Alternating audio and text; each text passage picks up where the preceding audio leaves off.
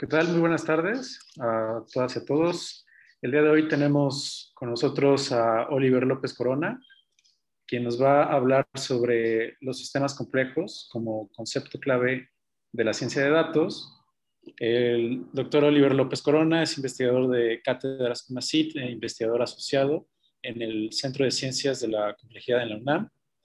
Después de estudiar física, realizó estudios de posgrado en Ciencias de la Tierra donde propuso una nueva ecuación de flujo subterráneo dentro de su trabajo doctoral. Posteriormente trabajó brevemente en la conformación del Laboratorio Nacional de Ciencias de la Sostenibilidad. Realizó una estancia postdoctoral en astrofísica relativista en el Instituto de Astronomía de la UNAM.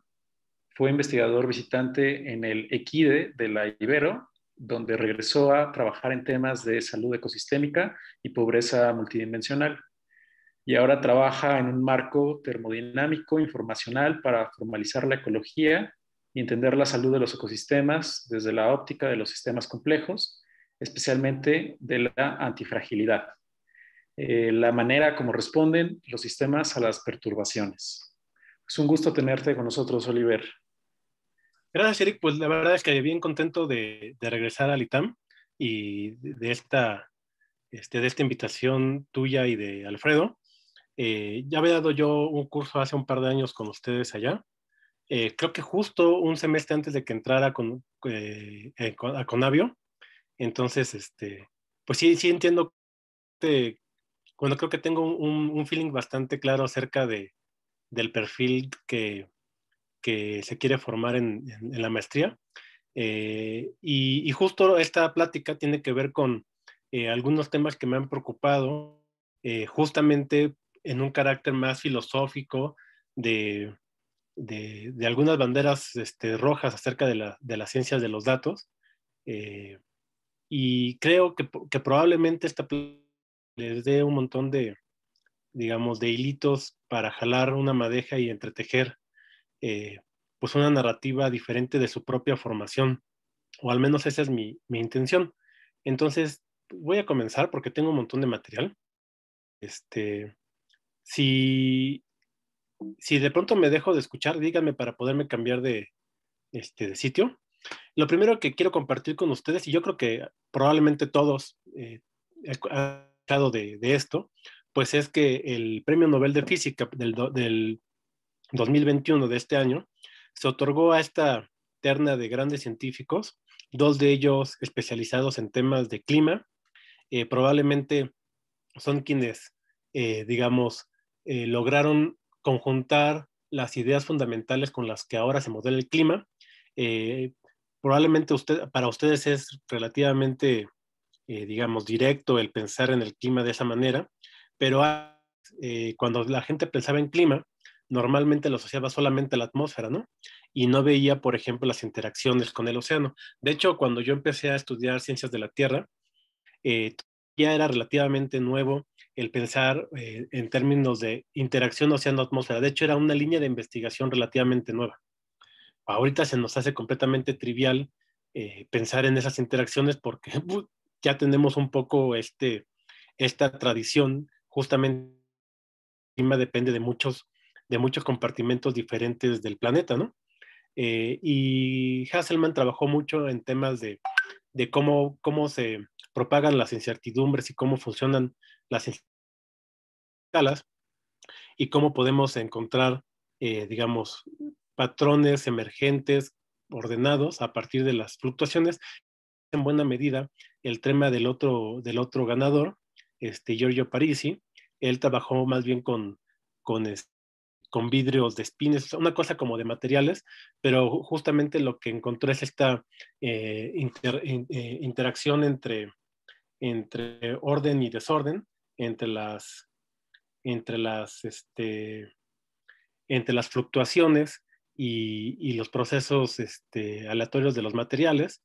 Eh, y en buena medida, él encontró ciertas, digamos, tipos de patrones universales que son de las escalas de los átomos hasta la escala climática.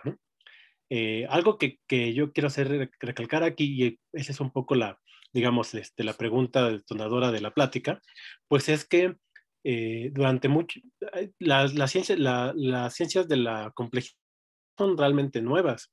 Eh, tienen ya con nosotros, no sé, al menos unos 30, 40 años, eh, pero hay un montón de, de, perspectivas diferentes desde cuáles abordarlas y tradiciones, eh, que se conjuntan todas en lo que conocemos como complejidad o sistemas complejos. Entonces, hay gente que viene desde la tradición, por ejemplo, de la dinámica, de física de la dinámica no lineal, hay gente que viene, por ejemplo, de la matemática de, este, más bien justo como de sistemas, este, como de sistemas eh, eh, no hamiltonianos, hay gente que viene de la, teoría de redes, hay gente que viene de la modelación basada en agentes, y todos convergen en mismo gran este, isla de conocimiento que, son los sistemas complejos.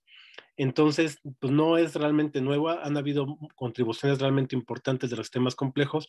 Probablemente algunos de los premios Nobel anteriores podrían de una u otra manera ligarse a los sistemas complejos, pero nunca hasta ahorita se le había dado tal cual el nombre de que el premio Nobel se daba justo por la contribución al entendimiento de los sistemas complejos. Entonces, y, y esto es, digamos, importante para la comunidad de complejidad porque hasta cierto punto justamente por esta riqueza de, diversidad epistemológica y metodológica, eh, pues hay preguntas que se abordan en los temas complejos completamente diversas, ¿no? Desde cosas biológicas, sociales, este, tal cual de física, de, materiales, eh, de ciencias de la tierra, de clima, etcétera, ¿no? Entonces, tanta diversidad, pues a veces, digamos, genera un poco de resistencia en, campos mucho más tradicionales como la física, hay que recordar que, que la física pues es probablemente la ciencia más antigua, ¿no? Eh, y probablemente ha sentado las bases de cómo hacer ciencia y, eh, digamos, en, en, una perspectiva histórica, probablemente la, forma como hacemos ciencia modernamente, tradición que viene desde, desde Arquímedes, pasando por, este, por Euclides y eh, Galileo eh, y Newton, y a partir de Newton, pues todos, es como el, tipo de pensamiento que tenemos, ¿no? Entonces, no es de extrañar que los físicos sean reacios a cosas demasiado innovadoras, este, y sobre todo cuando hay una diversidad tan amplia, ¿no? Entonces, durante mucho tiempo, digamos que, los sistemas complejos eran un poco mal vistos eh, por la comunidad de las ciencias físicas, aunque debo destacar que en México en particular, eh, hay desde hace mucho tiempo en el Instituto de Física, eh, en el Departamento de Física Teórica, digamos, un grupo muy fuerte de, de, ciencias de la complejidad, que de hecho fue con el que yo hice mi tesis de licenciatura. Entonces, hay una tradición de, de sistemas complejos bastante este, larga ya y muy fructífera. Y, entonces la comunidad complejos ven esto como un reconocimiento. Pero, pero, complejos físicos, bueno, sistemas físicos complejos. Esa parte de físicos complejos, justo lo que, este, digamos, creo yo que está reconociendo es eh, la necesidad de diferenciar eh, algunos unos tipos de preguntas de algunos tipos de sistemas complejos de aquellos que son susceptibles de ser estudiados desde una tradición más física. Y aquí el mismo París nos dice un poco cuál es su punto de vista acerca de, su perspectiva de sistemas complejos y dice que, esencialmente la física pues es una ciencia experimental que tiene, bueno, es una ciencia que tiene dos pilares fundamentales. Eh, el rigor experimental, experimentos bien pensados, bien planteados, bien ejecutados, eh, y eh, el rigor matemático. Entonces, eh, en física normalmente sí tenemos la capacidad de, generar eh, primeros principios, que digamos, la conversión en matemáticas sería como tener axiomas claros, y lo que conocemos como leyes de la física, pues son un tanto lo que en matemáticas serían teoremas. Y entonces podemos, usando un lenguaje formal de las matemáticas, hacer deducciones completamente rigurosas eh, a, partir de nuestros primeros principios físicos y entonces tenemos una combinación que ha resultado ser extremadamente exitosa entre la experimentación, entre muy buena experimentación y rigor matemático. Eh, esos dos pilares, dice, dice este Parisi, se deben mantener inclusive en los sistemas complejos, donde muy probablemente hayan algunos casos en donde, eh, digamos, no sea fácil o directo eh, no sea fácil o directo hacer experimentos bien controlados, pero entonces tenemos que ser muy rigurosos en la forma en cómo observamos los fenómenos, ¿no? Porque hay fenómenos que son de experimentos únicos, son una única realización, no tenemos muchos planetas para ver diferentes realizaciones este, de un proceso planetario, ¿no? Por ejemplo. Entonces tenemos que ser muy rigurosos en la manera en cómo observamos, por ejemplo, con suficientes sensores, con frecuencias de muestreo suficientemente eh, buenas, eh, con precisiones este, eh, adecuadas, etcétera. O podemos recurrir a otra, a otra forma de hacer experimentación, digamos un poco a la Wolfram, en términos de hacer experimentación computacional, pero entonces tenemos que hacer buena experimentación computacional, generando buenos modelos, haciendo un, un, esquema de un esquema que permita capturar la variabilidad de los procesos que, que ocurren muchas veces en sistemas complejos, en donde es necesario tener muchísimas repeticiones de, los experimentos para captar la variabilidad. Y en la parte matemática, pues ya no tenemos el mismo tipo de enunciados matemáticos que normalmente en física vendrían dados, por ejemplo, por, por ecuaciones diferenciales ordinarias o parciales, y con ellas pues solamente falta definir eh, pues, las condiciones iniciales y de frontera, y entonces uno puede saber todo acerca de todo acerca del sistema y hacer predicciones muy, muy precisas. En sistemas complejos, eh, los enunciados matemáticos toman más bien un carácter probabilístico, eh, y ahí, por ejemplo, como dice eh, James en su libro Probability, the Logic of Science, pues tenemos que seguir manteniendo el rigor, nada más que ahora ya no es un rigor, digamos, de las, de las matemáticas de las ecuaciones diferenciales, sino un rigor en la teoría de la probabilidad, que en buena medida él y gente como Poincaré dicen que captura la, la, la parte racional y lógica del humano y que de hecho constituyen la lógica de la ciencia. Entonces, si queremos hacer ciencia y específicamente ciencia que hable de sistemas complejos, pues más nos vale hacerle caso a Parisi y mantener estos dos pilares, eh, rigor experimental y rigor probabilístico. ¿Ok? Entonces, esa es como, como la, una primera parte que creo que es importante eh, empezar ya a, filtrar en la plática porque vamos a mover, no, nos vamos a mover mucho hacia la detección de lo que no científicas. Aquí les estoy dejando, eh, Eric tiene la, liga de la presentación, ustedes la van a poder tener para que, porque tengo muchas ligas ahí metidas, ¿no? Entonces, les estoy dejando aquí un pequeño ensayito acerca de, de, de cómo a veces cuando, cuando hablamos de ciencia no sabemos exactamente a qué nos referimos y hay al menos tres, eh, tres eh, formas de pensar en la ciencia. Ciencia como ese arcón de conocimientos destilados destilados a partir de la experimentación, el rigor matemático y el tiempo, sobre los cuales una altísima confianza de su, de su, este, de su nivel de veracidad. Por otro lado, también está la ciencia como una aproximación filosófica a la vida y a hacer sentido de lo que, de lo que observamos y sobre lo que experimentamos, es decir, la ciencia como un método como un método de indagación y tenemos la última que es la ciencia más bien como un, este, como un quehacer humano. Entonces son tres formas diferentes de hablar acerca de, de la ciencia, y, pero lo que en este caso es importante para nosotros, si queremos realmente hacer ciencia de datos, pues es entender el, juego y la interacción que hay entre el método para hacerse preguntas y para explorar el mundo y ese arcón de conocimientos que son veraces, es decir, digamos, el, punto ahí clave va a ser cómo construimos eso que llamamos evidencias, ¿no? Evidencias científicas. Entonces hay que tenerlo muy claro. Eh, aquí les, les, voy a dejar un video para que lo puedan ver después, este, justamente sobre eso. Se va a quedar reproducción.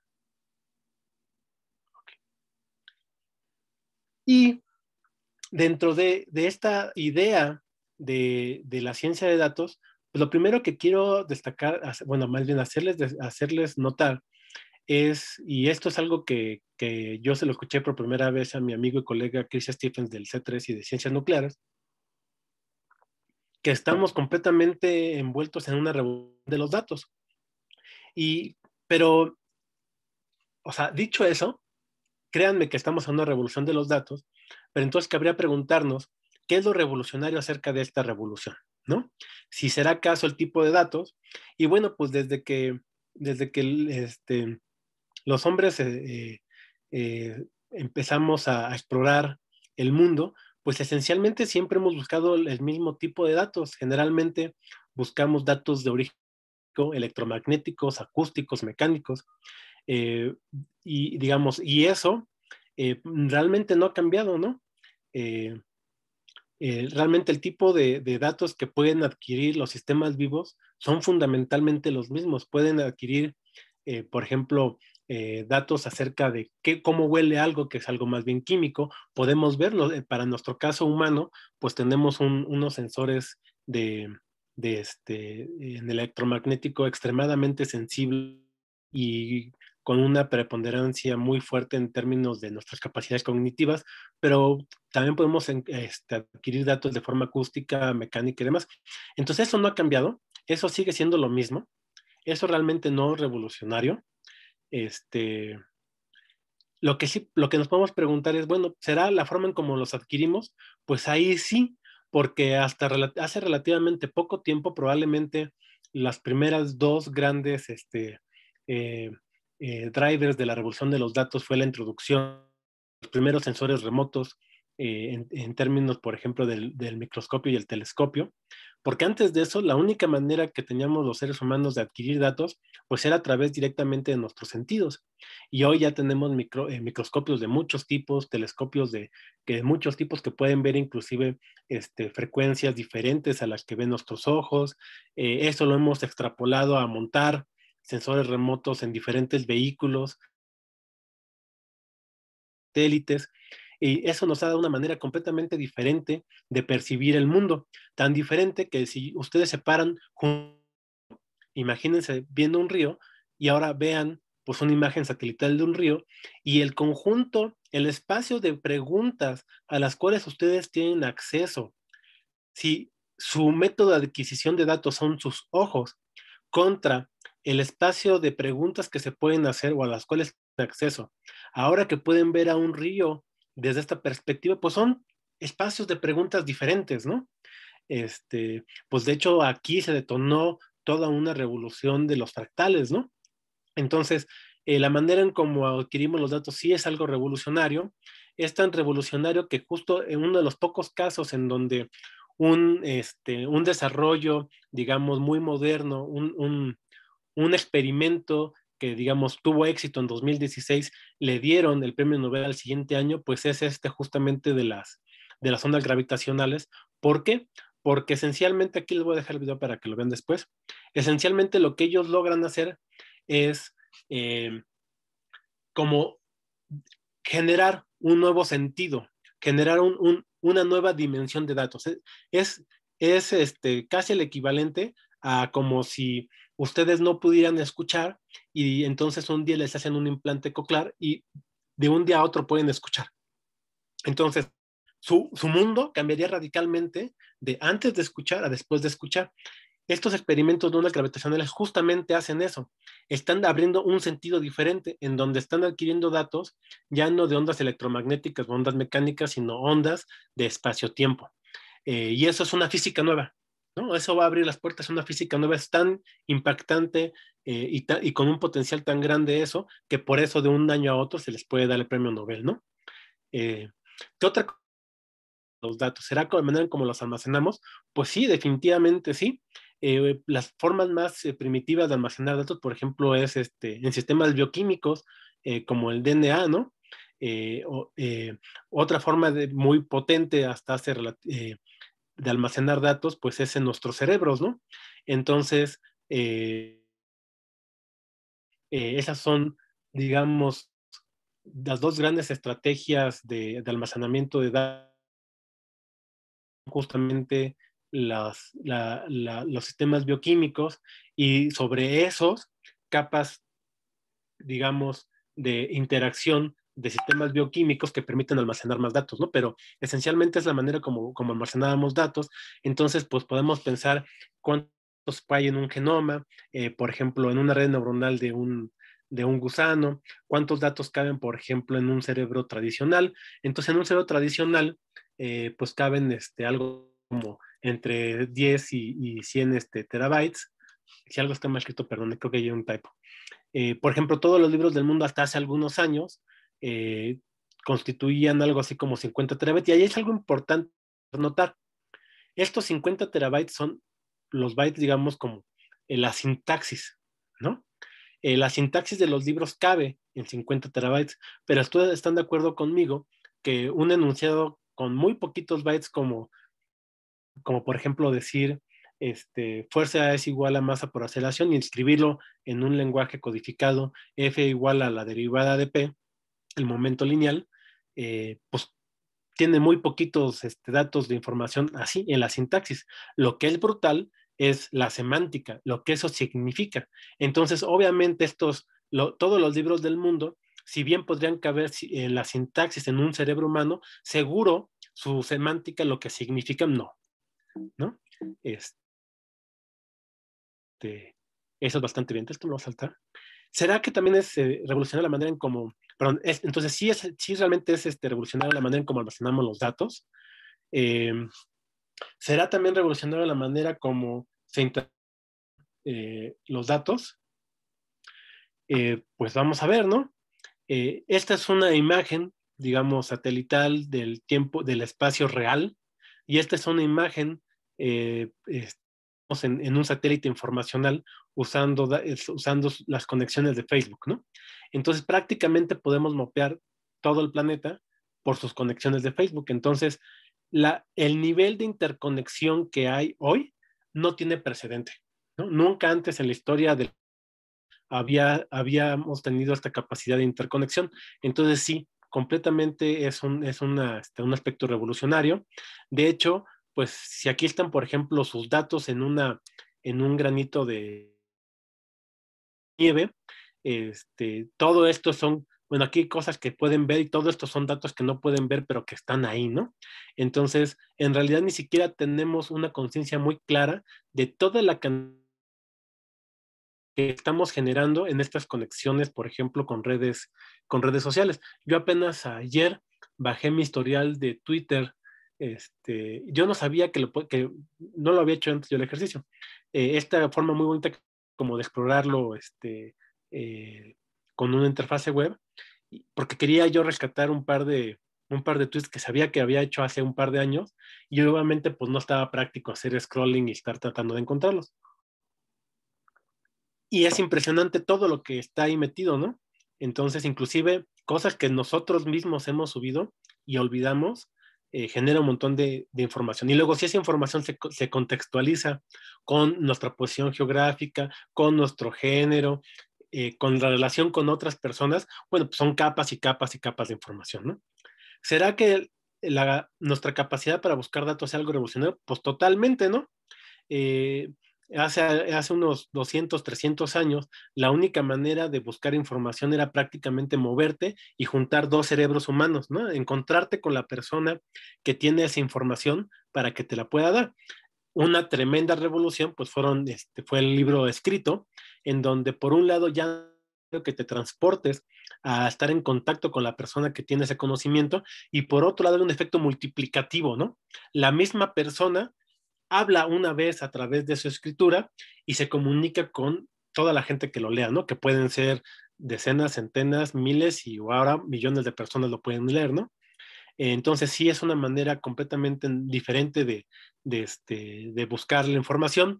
Eh, nuestros buscadores, por ejemplo, son extremadamente buenos para buscar, son extremadamente malos en la búsqueda de la semántica, ¿no? Entonces, eh, si hacen una búsqueda como de este estilo de latest eh, Etruscan pottery, eh, les puede salir cosas relativamente cercanas a lo que entenderíamos que se está buscando o cosas extremadamente diferentes de lo que de lo que pensaríamos que se está buscando. Entonces es algo que todavía no está completamente bien resuelto, la parte de las búsquedas semánticas. probablemente todavía ahí el cerebro humano es mejor para, para este, para hacerlo. Entonces, esta es una búsqueda relativamente sencilla, pero por ejemplo, esta es una búsqueda bastante más difícil de lograr, ¿no? Entonces, ¿es eh, la forma en que buscamos algo revolucionario? Sí, definitivamente sí. ¿Será la forma en cómo interactuamos con los datos algo revolucionario? Pues lo mismo, ¿no? Eh, perdón. Eh, para poderlos transmitir, como les decía, no teníamos que llevar un cerebro junto a otro cerebro y pues entonces tenías que hacer la carrera de maratón para poder comunicar este, la victoria, que no es cierto, ¿no? En realidad creo que eh, lo que eh, este rey que hizo esta, esta este, en realidad creo que no fue de maratón, sino que fue de otro lugar este, bastante más lejano, como 200 kilómetros, no solamente 40. Y no fue para comunicar la victoria, sino para pedir refuerzos porque esperaban como, el contraataque, ¿no? Después, pues tenemos este, mecanismos que nos, que nos permiten llegar más rápido, como por ejemplo utilizar medios de, medios de transporte, ya sean lógicos o mecánicos, eh, y, de pronto damos un salto a, las comunicaciones este, a larga distancia, ¿no? Con el telégrafo, el teléfono, y bueno, pues ahora, pues no se diga, ¿no? Tenemos eh, toda cantidad de, formas de comunicación prácticamente instantáneas este, en, nuestra mano, ¿no? Eh, ahora, en esa forma de cómo interaccionamos con los datos, hay una parte que creo que es un, digamos, un área de especialización eh, bastante bonita de la ciencia de los datos, que es, por ejemplo, la, la, visualización, de los datos. ¿no? Entonces, no sé si conocen esta, este artículo y esta revista, pero habla acerca un poco del ciclo de Krebs creativo. ¿no? Entonces, eh, pues te dice que, eh, por ejemplo, uno puede empezar a partir de cómo percibimos la naturaleza en términos de, de ciencia que nos permite, bueno, de adquisición de datos y, y creación de información, a través del, mecanismo de generación de la ciencia produce conocimiento y luego como ese conocimiento, eh, digamos, puede ser utilizado eh, por los ingenieros para construir cosas y generar soluciones que son útiles y en el momento que empiezan a ser útiles, la gente de diseño pues puede justamente ahora hacerlas atractivas para que más gente eh, pueda acceder a esa utilidad, a esas soluciones, y eso empieza a generar un cambio de comportamiento que empieza a generar, por ejemplo, también una estética distinta. Y esa estética distinta puede cambiar nuestra percepción de la naturaleza y entonces tenemos un ciclo de Krebs. Entonces está bastante interesante eh, y hay un montón de que se han ido desarrollando en términos de visualización. Por ejemplo, si pensamos en términos de desigualdad y hablamos, por ejemplo, de un coeficiente de Gini o cualquier cosa de estas, eh, pues nada más así, pues no se entiende muy bien, ¿no? Pero si en lugar de eso este, usamos una sesión de datos sencilla, por ejemplo, como esta, este, y, y entonces empezamos a... Harvard Business empezamos a presentar la misma información, pero, pero de otra manera podemos empezar a generar un, un, entendimiento diferente, ¿no?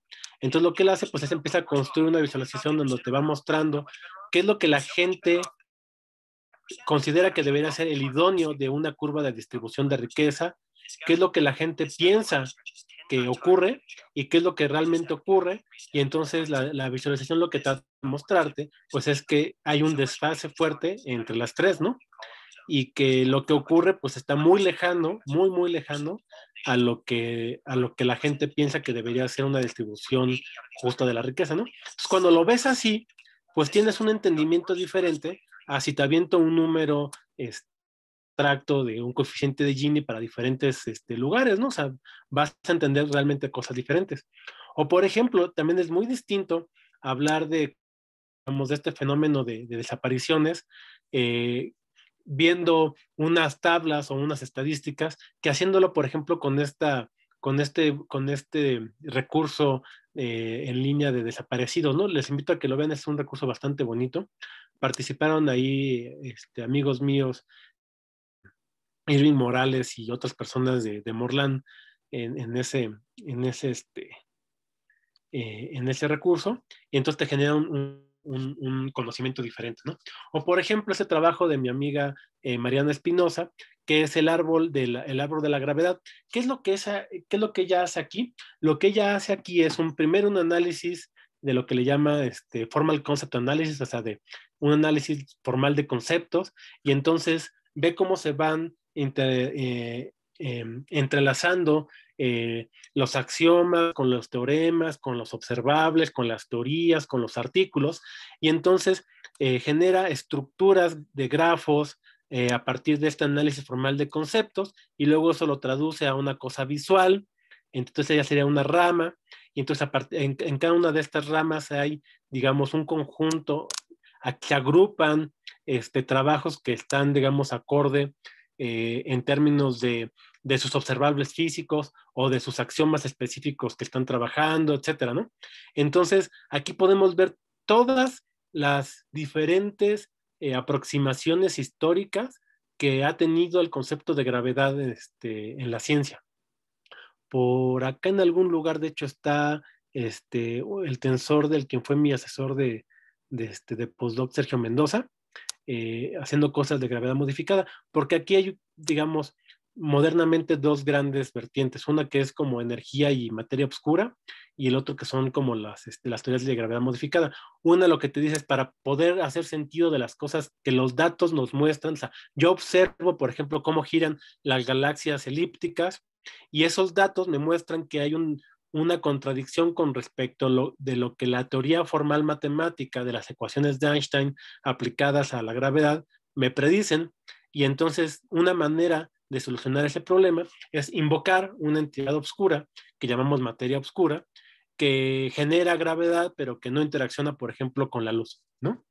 Este, y por otro lado, otra gente dice, no, a ver, espérate, ¿por qué invocar este, a entidades oscuras? Mejor modifiquemos ese, ese, ese formalismo matemático de las ecuaciones de Einstein aplicadas a la gravedad, formulemos algo distinto y, y que explique lo que, nos, lo que nos muestran los datos, ¿no?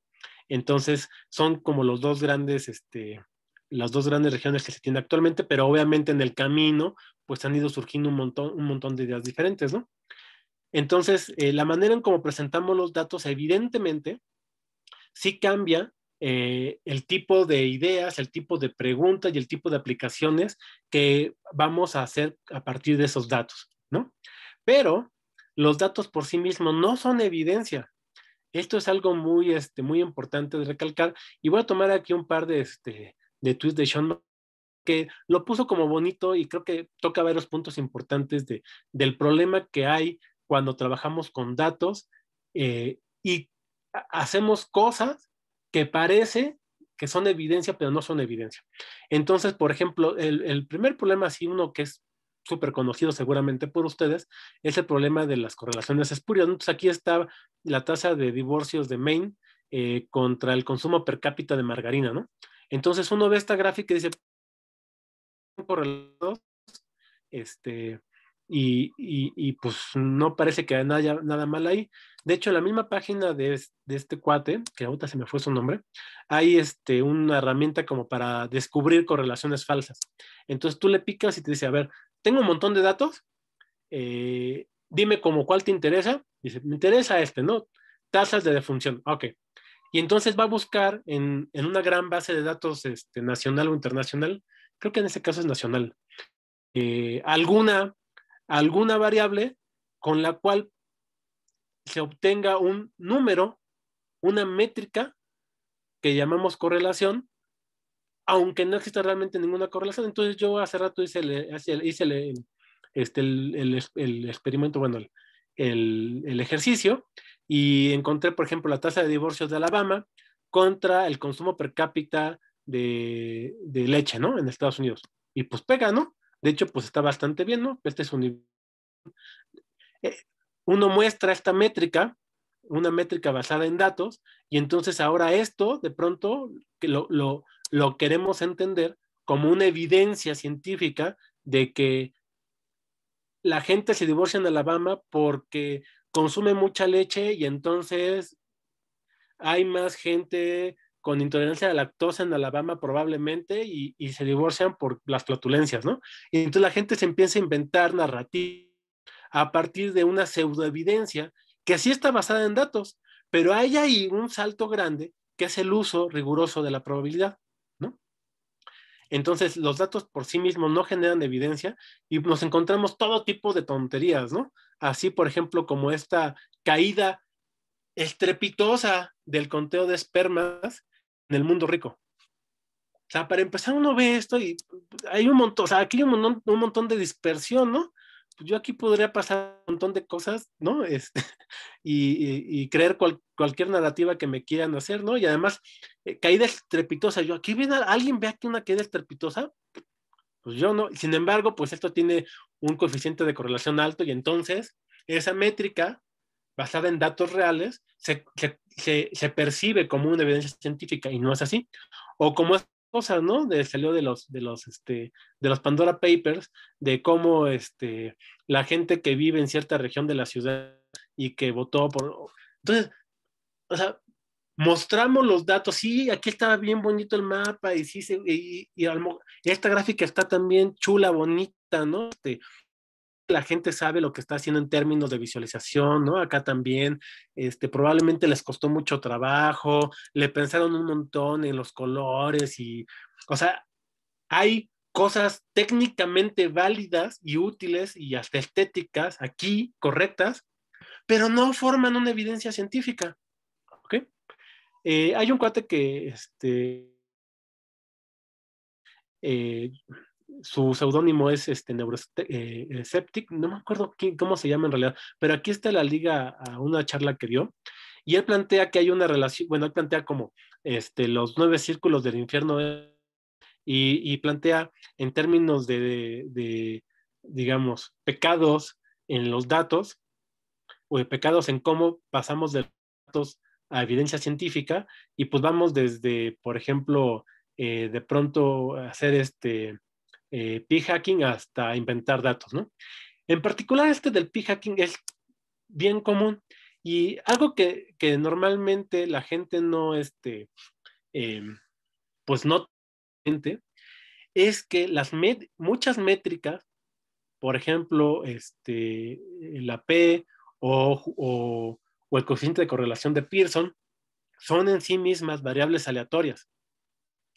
Y eso hace que tengan pues, una distribución, evidentemente tienen un valor central, pero si uno sigue buscando y sigue buscando, eh, pues va a encontrar alguna versión de nuestros datos que sí satisfagan el valor de, este, de corte para considerar que eso es una evidencia científica. Entonces hay todo un conjunto de, de, estrategias y manipulaciones eh, que, sí, que uno puede hacer en, estos valores, en estas métricas estadísticas, para conseguir eso que llamamos, este, eso que llamamos significancia estadística, ¿no?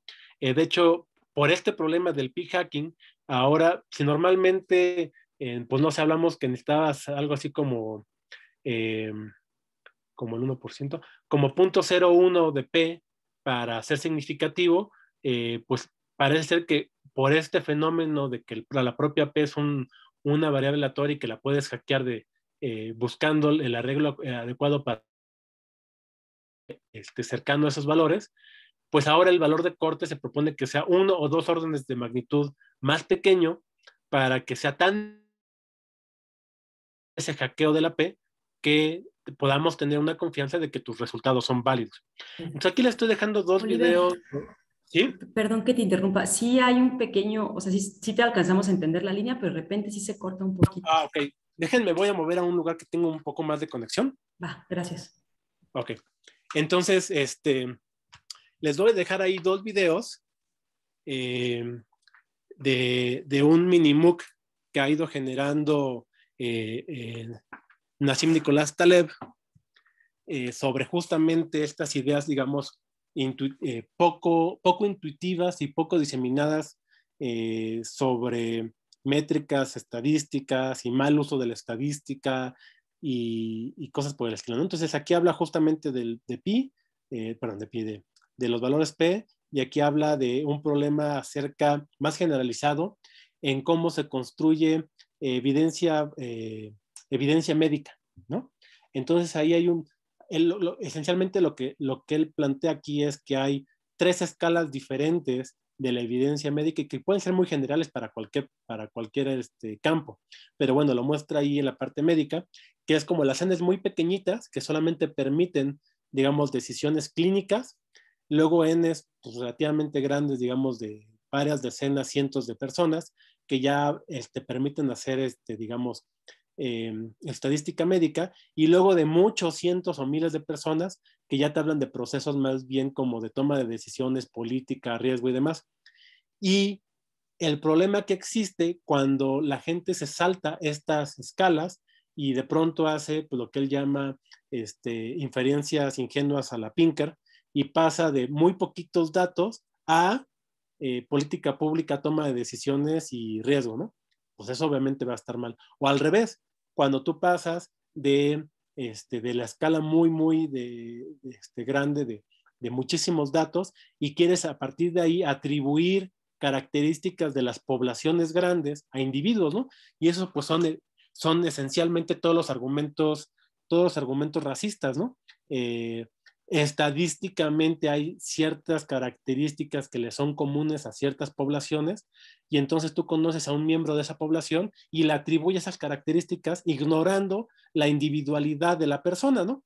Entonces son todos los, esos son todos los, este, los, los, los este, argumentos clasistas, sexistas, este, racistas, etcétera, ¿no? Entonces hay que estar muy atentos a eso y el libro técnico acerca de, estos problemas es este de aquí, de, Statistical Consequence of Fat Tails, eh, que te muestra por qué buena parte de la estadística tradicional que hemos aprendido falla cuando hablamos de sistemas complejos, por ejemplo, de sistemas sociales, ¿no? Porque la mayoría de los sistemas complejos en una u otra dimensión eh, van a manifestar eh, distribuciones de colas, dije, ¿qué dije? ¿Colas largas? Bueno, perdón, de colas gordas. Entonces, bueno, ese libro es así como fundamental en ese, en ese sentido.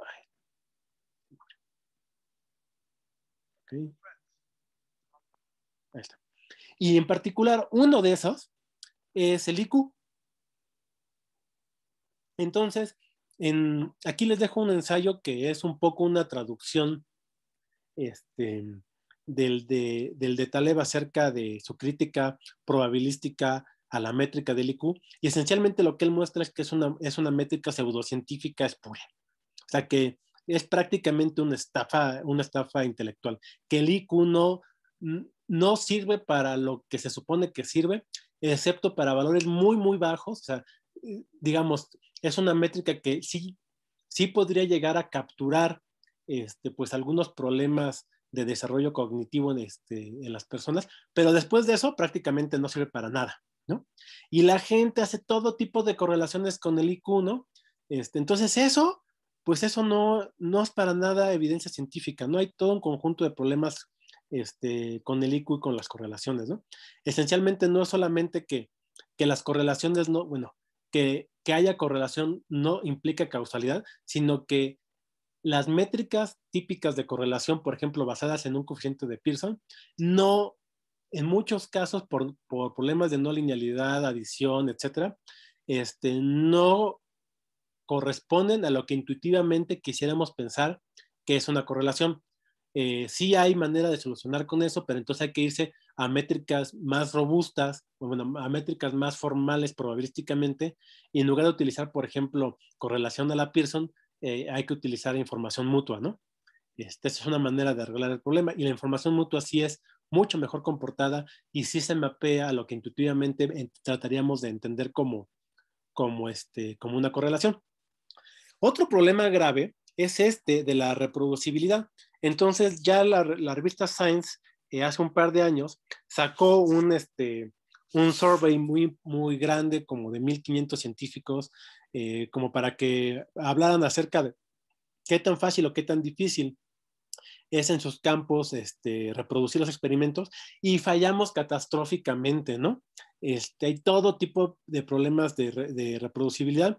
Las dos disciplinas que admiten tener cierto problema, pero que sus propios practicantes todavía se manifiestan con confianza acerca de la ciencia como ese arcón de conocimiento, de conocimiento este, válido, eh, son química y física, pero muchas otras disciplinas, eh, las biomédicas, psicología, economía, etcétera, eh, pues tienen problemas gravísimos, ¿no? no, se, no se los quiero poner. Al punto de que este epidemiólogo muy famoso, Loanidis, eh, pues tiene un ensayo eh, al respecto en donde dice que lo más que en, en la literatura moderna es mucho más probable que te encuentres estudios que no son falsos, estudios que no, que no son verdaderos, a que te encuentres estudios verdaderos. Y entonces ahí dice todo un conjunto de razones por las cuales eso puede pasar y algunas ideas de cómo se puede solucionar. Pero digamos, lo que ellos están, lo, que, lo que se está manifestando muy claramente es una crisis bastante generalizada de reproducibilidad en la ciencia, más en unos campos que en otros. La medicina tiene un problema grave, las biomédicas tienen un problema grave, psicología tiene un problema gravísimo.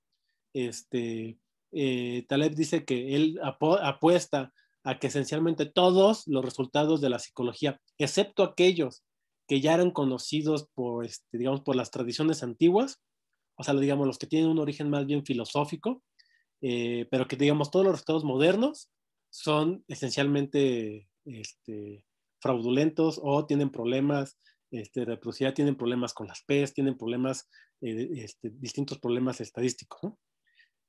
Ahora, lo que es muy interesante es que el mismo Leonadis aquí latina muy bien a, este, a documentar el problema de la, de, crisis de reproducibilidad, pero él mismo ahora cuando se trata de, cuando hay un cambio de dominio y ahora se trata del problema, por ejemplo, de la actual pandemia, falló Garra, bueno, inicialmente tenía una postura eh, muy en contra de tomar acciones, digamos, acciones bastante fuertes al principio de la pandemia, porque según él, hacía falta eh, mucho más datos y más tiempo y análisis y, demás para tener evidencia rigurosa de que la pandemia era suficientemente fuerte, eh, de cómo se contagiaba la enfermedad, etcétera, ¿no?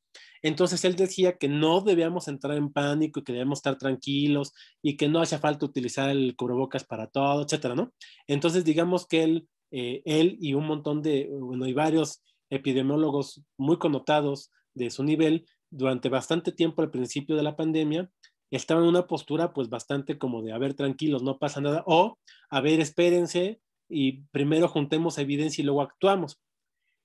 por el contrario, Taleb, eh, desde muy, muy, muy temprano de la pandemia, pero cuando le digo muy temprano, estoy hablando de realmente de los primeros casos que se empezaron a reportar en China, empezó a hablar de la necesidad de tomar este, medidas muy rápidas y muy fuertes para controlar este, la propagación de la enfermedad. Por ejemplo, él y gente como Yanir Barjam y Joe Norman estaban aconsejando pues, cierre de, este, cierre de aeropuertos y de viajes internacionales y cosas por el estilo, eh, porque, porque detectaban que había un potencial muy grande eh, en términos de efectos multiplicativos y de contagios y un nivel muy alto también de incertidumbre en términos de el patógeno, su, este, sus tasas de contagio y demás.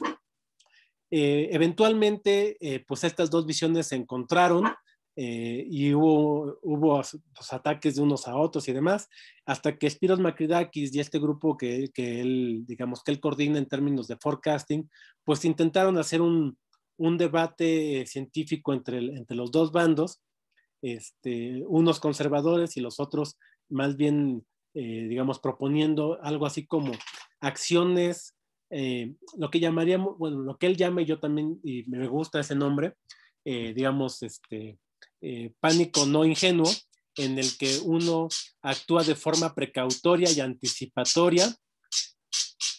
¿Por qué? Porque estos, estos procesos que tienen un potencial multiplicativo muy grande, pues es, requieren ser, requieren ser este, tratados, o sea, hay que matar al monstruo cuando está en el huevo, ¿no? Si tú no matas al monstruo cuando está en el huevo y permites que el monstruo se desarrolle, ya se llamó, o probablemente ya no haya mucho que puedas hacer después para detener al monstruo. Entonces, eh, un poquito después se le trabajaron justamente eh, Taleb con, con Yanir Barjam y creo que también Pascual Cirilo, eh, que es un experto en, en, este, en teoría de valores este, extremos, analizando todas las pandemias, bueno, analizando un, un, número muy grande de pandemias importantes en la historia y calculando pues qué tan, qué tan extremos son sus, sus, comportamientos y entonces esencialmente tienen como esta métrica donde dicen que eh, pues si tú vas, si tú monitoreas los, este, digamos, eh, los brotes epidemiológicos, en el momento en el que tienes un brote de más de mil personas abusado, eso puede ser, eso es una, digamos, una alerta temprana de que puedes tener, este, digamos, un monstruo de colas gordas y ahí tendrías que tomar acciones muy fuertes para evitar que se propague y, que salga de control, ¿no? Entonces son dos visiones bien diferentes, pero la idea es que, sí, por un lado, fíjense qué cosa tan interesante. Por un lado, necesitamos rigor experimental y rigor probabilístico para tener seguridad en nuestro mecanismo de generación de evidencia, que es el método científico, y confianza en los resultados que salen de ese método, que será nuestro arcón de conocimientos científicos, pero por otro lado tenemos un conjunto de fenómenos que amenazan nuestra existencia, que requieren un tratamiento diferente, en donde uno no puede esperarse a que esté la evidencia, la evidencia va a llegar tarde. En un proceso así, digamos, como este, como de pandemias, como, como de una emergencia realmente súbita, eh, la evidencia va a llegar tardísimo y nosotros tenemos que actuar antes. Entonces, este, les, estoy dejando aquí un ensayito que, eh, que habla justamente de esas ideas de Taleb de, del problema, bueno, más bien de por qué era muy claro desde muy temprano que el uso de las máscaras era la estrategia predominante que deberíamos haber este, utilizado. Y en este otro, pues es algo, digamos, este, cercano a este, pero más generalizado, en términos de cómo sobrevivir en Extremistán. Extremistán es este dominio de fenómenos en donde hay procesos de colas gordas, donde eventos de muy, muy, muy grande este, magnitud, eh, aunque son infrecuentes, ocurren con una frecuencia suficiente para ser observados. ¿no? Entonces, ¿cómo sobrevivir en estos ambientes en donde hay este, eventos extremos? O, dicho de otra manera, ¿cómo ser un paranoico no ingenuo cuando hay que ser paranoico? Entonces, es interesante que requerimos simultáneamente dos, tipos de pensamiento diferente.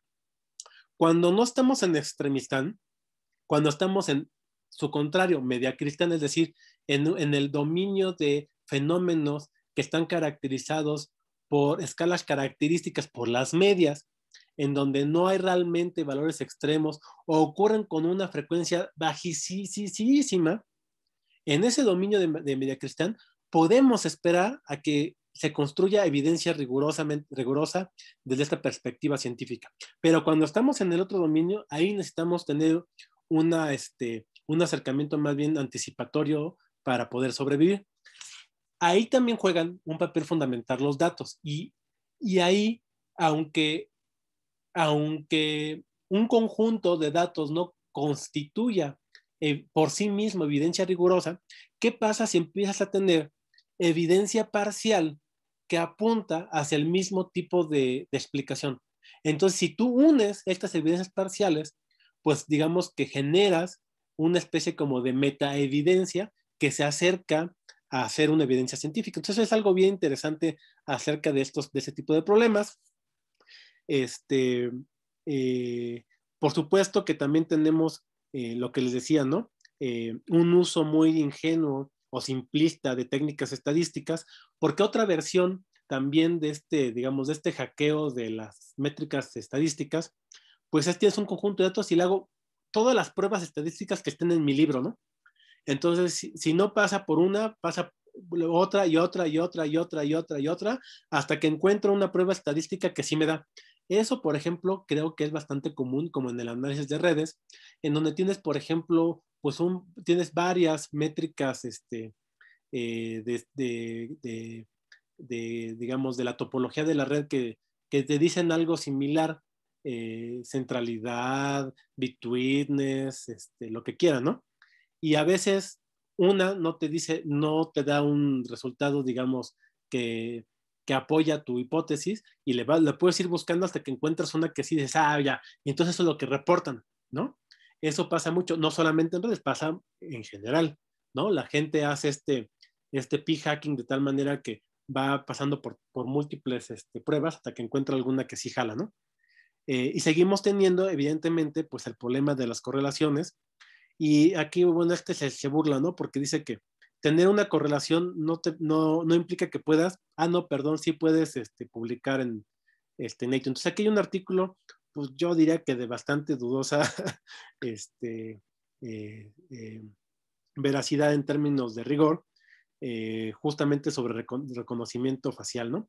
Ahí hay algunos ejemplos, digamos, chistosos, en donde, ¿cómo era este ejemplo? de una red neuronal profunda que, que, trataba de reconocer entre perros y gatos. Y, y muy bien, ¿no? O sea, con una, latinaba con, con, una, este, con un error bajísimo, pero pues como pasa en este tipo de, herramientas, pues no sabes muy bien por qué lo hacen, ¿no? Entonces, pero creo que en algún momento empezaron a ver algunas, este, eh, algunos falsos positivos y tenía que ver con que parece ser que lo que estaba reconociendo la red era orejas puntiagudas, ¿no? Eh, porque la mayoría de los gatos tienen orejas puntiagudas contra la mayoría de los perros que no tienen orejas puntiagudas. Creo que algo así es el ejemplo. Eh, lo voy a buscar porque creo que es un ejemplo bastante bonito. Y bueno, aquí está el video que habla justamente de las correlaciones.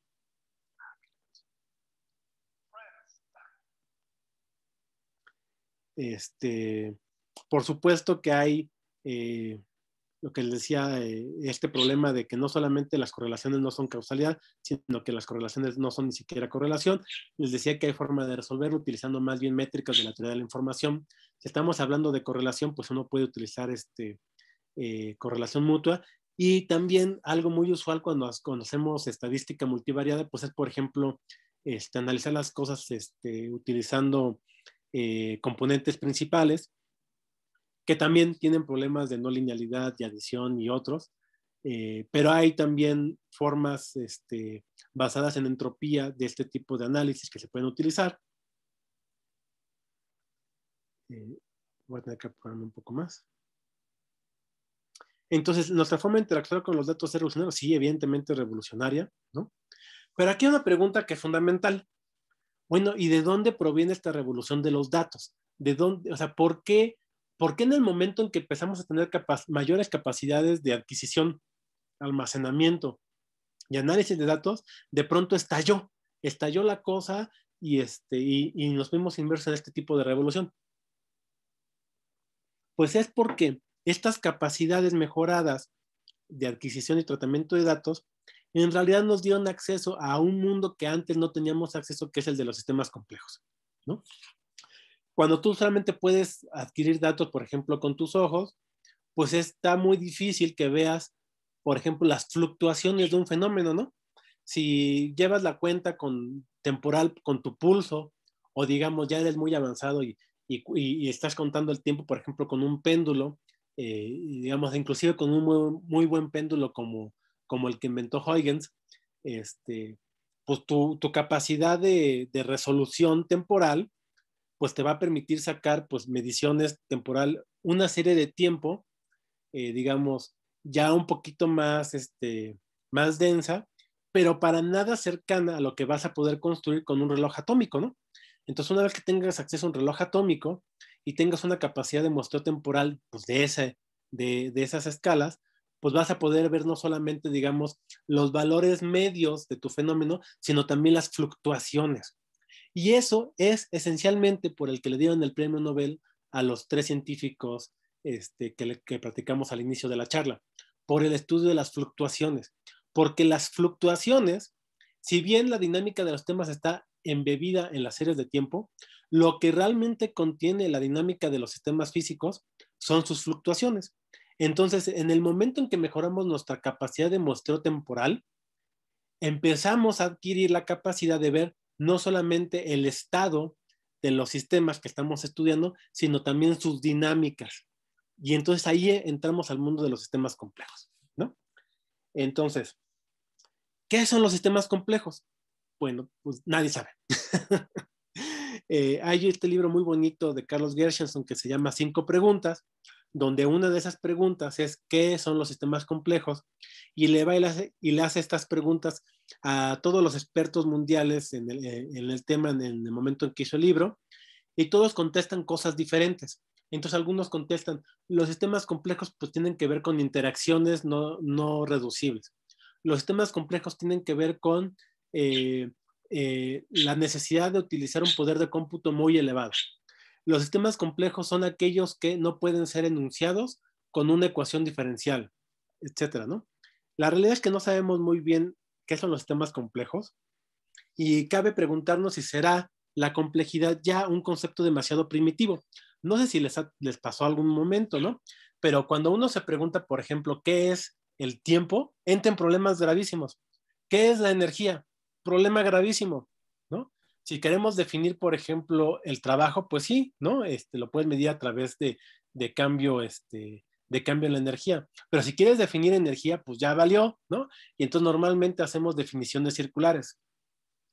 Eh, y bueno, aquí también una parte, digamos, importante de, de, de dilucidar eh, cuando queremos entender un, un, fenómeno es qué es, lo que, qué es lo que tenemos que definir de ese fenómeno, qué es lo importante, para qué lo queremos, y, si acaso también hay problemas, por ejemplo, de opacidad epistemológica, ¿no?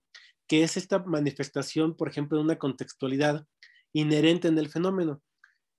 un ejemplo probablemente sencillo que todos podemos ver este, con claridad es qué es un electrón.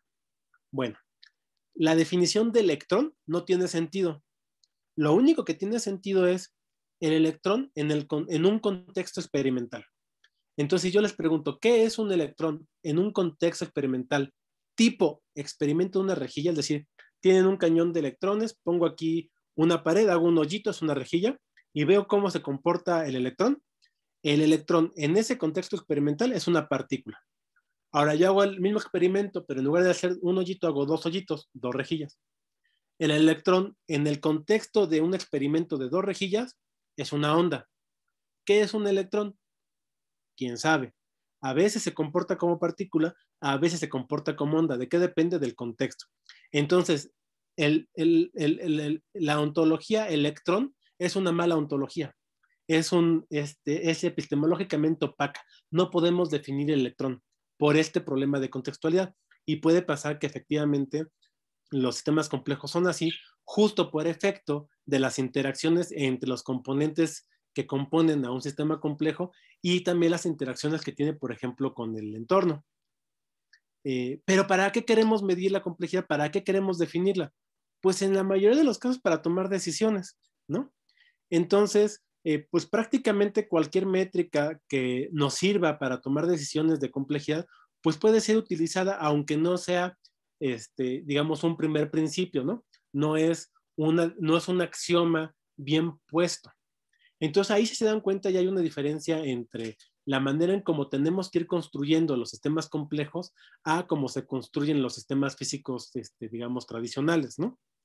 Entonces, en general, pues uno puede pensar eh, en que esta, e, esta nueva, nuevo tipo de, de sistemas y fenómenos a los cuales tenemos acceso gracias a nuestras, nuestras capacidades incrementadas en adquisición, almacenamiento y, procesamiento de datos, este, que esto esta nueva categoría de, cosas, pues en principio, inclusive por la manera en cómo los llamamos, su, su raíz latina viene de plectere, que significa trenzar o enlazar. Y cuando ponemos el prefijo com para complectere, eso hace que la palabra tome un sentido en términos de una dualidad de dos elementos opuestos que se entrelazan íntimamente sin anular esa naturaleza dual. Y de esta manera el término de complejidad, que proviene de complectere, pues hace referencia a aquello que está entrelazado por efecto de dos fuerzas opuestas y complementarias.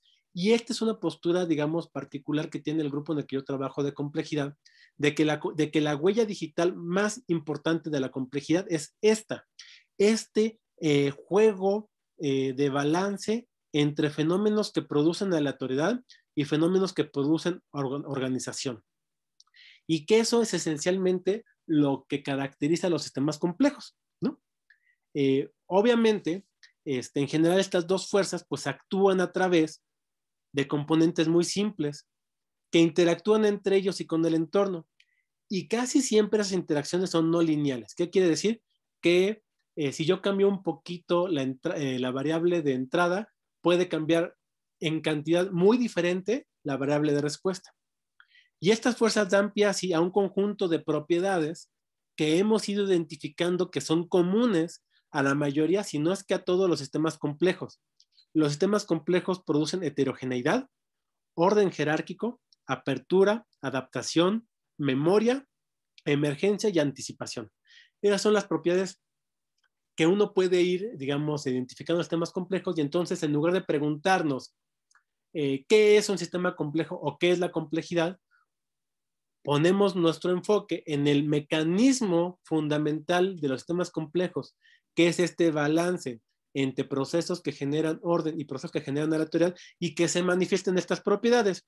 Y luego mejor vamos y tratamos de entender qué son estas propiedades, cómo surgen y cómo las podemos medir. Este, las consecuencias de esto es que los sistemas complejos normalmente generan información nueva que no está contenida en las partes este, originales que componían al sistema. El ejemplo más sencillo es pensar, por ejemplo, en tensoactivos, moleculitas que se parecen a espermatozoides, donde la cabeza es hidrofílica y la cola es hidrofóbica. Y si yo voy, yo puedo conocer toda la fisicoquímica de una de estas moléculas. Ahora bien, ya conociendo toda la fisicoquímica de una de esas moléculas, yo voy echando muchas de ellas en un recipiente con agua y de pronto, sin que yo pueda predecir que eso va a ocurrir y sin poder entender por qué va a ocurrir, solamente a través del conocimiento completo y experto de la fisicoquímica de estas, de estas, de estas este, moléculas, de pronto, solito, espontáneamente, se autoorganizan y pueden generar una vacuola donde todas las cabecitas hidrofílicas que les gusta el agua se ponen hacia afuera, hacia el agua, y todas las cabecitas y todas las colitas hidrofóbicas que no les gusta el agua se ponen hacia adentro. Y eso, si lo piensan, pues es un poco la base de la evolución de la membrana celular. Entonces, podemos resumir un poco estas propiedades en, en unas más generales, en términos, digamos así, mucho más este, accesibles, y es que los sistemas complejos están compuestos por, eh, elementos muy simples respecto del sistema, eh, que tienen interacciones generalmente no lineales, que normalmente no hay un control central y que hay patrones emergentes. Un patrón emergente es este, como la vacuola. A partir de las interacciones surge algo nuevo, emerge un patrón que es la vacuola. Estos componentes simples, pues ustedes probablemente lo, lo, conocen y lo entienden y lo manejan mejor que yo, pues el, ejemplo más sencillo pues es el juego de la vida, en donde yo tengo esto que llamamos un automata celular, agarro una estructura computacional, la divido como en, píxeles y luego a cada píxel le pongo un 1 o un 0 si está vivo o está muerto y luego le doy, le doy reglas muy sencillitas, por ejemplo, como estas dos que están aquí y a partir de eso emergen patrones como estos, estas estructuras que se van moviendo que llamamos sliders o estas estructuras oscilantes y de hecho, algunas de, estos, de estas estructuras que emergen a partir de las reglas sencillas constituyen una computación este, universal, es decir, el juego de la vida, algunas de sus reglas pueden, generar una estructura computacional que puede hacer cualquier cálculo computacional que uno le pida. Si lo hace rápido o lento es otro tema diferente, pero puede hacer una este, computación este, universal. Entonces, a partir de elementos extremadamente sencillos y de reglas extremadamente sencillas, uno puede dar pie a una computadora universal. ¿Ok? En términos de interacciones, pues un ejemplo que a mí me parece bonito porque además es cercano a lo que, a lo que yo hago, pues es este sistema, por ejemplo, de species que generó Conavio con el C3, en donde uno trata de hacer modelación de nicho, pero no solamente a partir, por ejemplo, de datos, no sé si entienden qué es el nicho, pero el nicho es como em, el, subespacio de características eh, em, biogeoquímicas en una región específica del espacio en donde una especie puede vivir, ¿no? Entonces, eh, pues esas características biogeoquímicas pueden ser, por ejemplo, la humedad, la temperatura, eh, la elevación, y entonces hay un lugar ahí eh, que corresponde a ciertos sitios específicos en el mapa en donde una especie particular puede vivir, ¿no? Eh, pero aquí no están, no están codificadas las interacciones, por ejemplo, entre diferentes especies. Lo que hace Species justamente es eso. Este que es el artículo donde reportan los primeros resultados, lo que hacen es exactamente eso, tomo variables biogeoquímicas como precipitación o temperatura, pero luego interacciones, donde estas interacciones van a estar tomadas a partir de, de una, de un, de un, este, digamos, de un indicador probabilístico muy sencillo que trata de ponderar cuánto de lo que yo observo es señal contra ruido. Y eso lo hace pues con un esquema de ocurrencias. En cuántos lugares específicos del espacio ocurre la especie azul y la especie roja. Si no ocurren, entonces esto, esto podría estarme diciendo que, dado que en ningún lugar ocurren, de hecho hay entre ellas una especie de interacción de repulsión. Y aquellos lugares en donde ocurren por completo, pues hay una interacción de atracción pues muy fuerte, ¿no? Entonces yo, yo aquí puedo inferir que existen interacciones biológicas reales, por ejemplo, de predación. No puedo saber cuál, pero puedo, puedo inferir que existe esa interacción biológica. Ya para poder ponerle eh, nombre y apellido a esas interacciones, pues requiero hacer el mapeo completo, ir a campo, hacer múltiples observaciones, conocimiento experto, y pues eso requiere mucho tiempo, este, dinero y esfuerzo, ¿no? Pero obviamente me da un conocimiento brutal de lo que está pasando ahí, pero si yo lo quiero hacer con muchísimas especies diferentes en áreas muy grandes, es completa y absolutamente irrealizable, ¿no? Eso no se puede hacer eh, con, esta, con, esta, este, con esta metodología. Entonces, aquí un, un, ejercicio muy bonito en donde tratan de encontrar, pues justamente el nicho de este parásito que produce la leishmaniasis, este, que tiene que ver con algunos vectores y algunos hospederos. Y entonces, eh, pues hacen este ejercicio de concurrencias con colecciones biológicas históricas que se tienen y este, este indicador probabilístico que te dice qué tanto es señal, qué tanto es ruido. Este, si ese indicador es positivo y grande, pues quiere decir que hay interacción. Si es eh, negativo y grande, quiere decir que hay una interacción, este, digamos, negativa de repulsión. Normalmente lo que, lo que hemos visto es que las variables, por ejemplo, climáticas, nos dicen dónde no pueden estar las especies y las variables o las interacciones este, bióticas entre especies nos dicen dónde se facilita la existencia de las especies. Y lo que ellos encuentran es que el conocimiento anterior ¿no? Basado en conocimiento experto, eh, eh, digamos, eh, adquirido así in situ, pues reconocía ocho hospederos conocidos para la leishmaniasis y a partir de este procedimiento ya más como de, este, digamos, de percepción remota con aprendizaje de máquina, pues descubrimos 22 nuevos hospederos, entre ellos por primera vez murciélagos, ¿no? Lo interesante es que no se quedó solamente en la predicción, sino que entre este grupo de trabajo, pues habían también biólogos, hicieron trabajo de campo, fueron, sacaron este, los, los este, eh, tomaron muestras y vieron que efectivamente sí son hospederos, ¿no? La otra característica es que no hay control central. Uno puede ver este video de los esterninos, donde hay a veces decenas de miles de pajaritos volando, y yo quiero que me digan exactamente qué pajarito le dice a los demás qué hacer. Ninguno, no hay manera. Imagínense ustedes ahí volando, no van a ver más allá de un par de metros este, alrededor de ustedes, de tal manera que toda la información con la que ustedes cuentan para tomar decisiones es un ámbito completamente local, ¿no? Entonces hay, hay control local, no hay control global. Es una característica este, bonita, esencial y típica de los sistemas complejos. Y probablemente saben que inclusive eh, esta... Em, esta eh, estructura no eh, localizada de control también se ha utilizado para, hacer algoritmos de búsqueda de optimización en donde tú aventas pajaritos virtuales en el espacio de posibles soluciones de un problema y simulando las reglas que siguen para, hacer esto, eh, puedes generar un algoritmo de, de, búsqueda que es un algoritmo bastante bueno, ¿no? Entonces, este, pues hay aplicaciones de esto.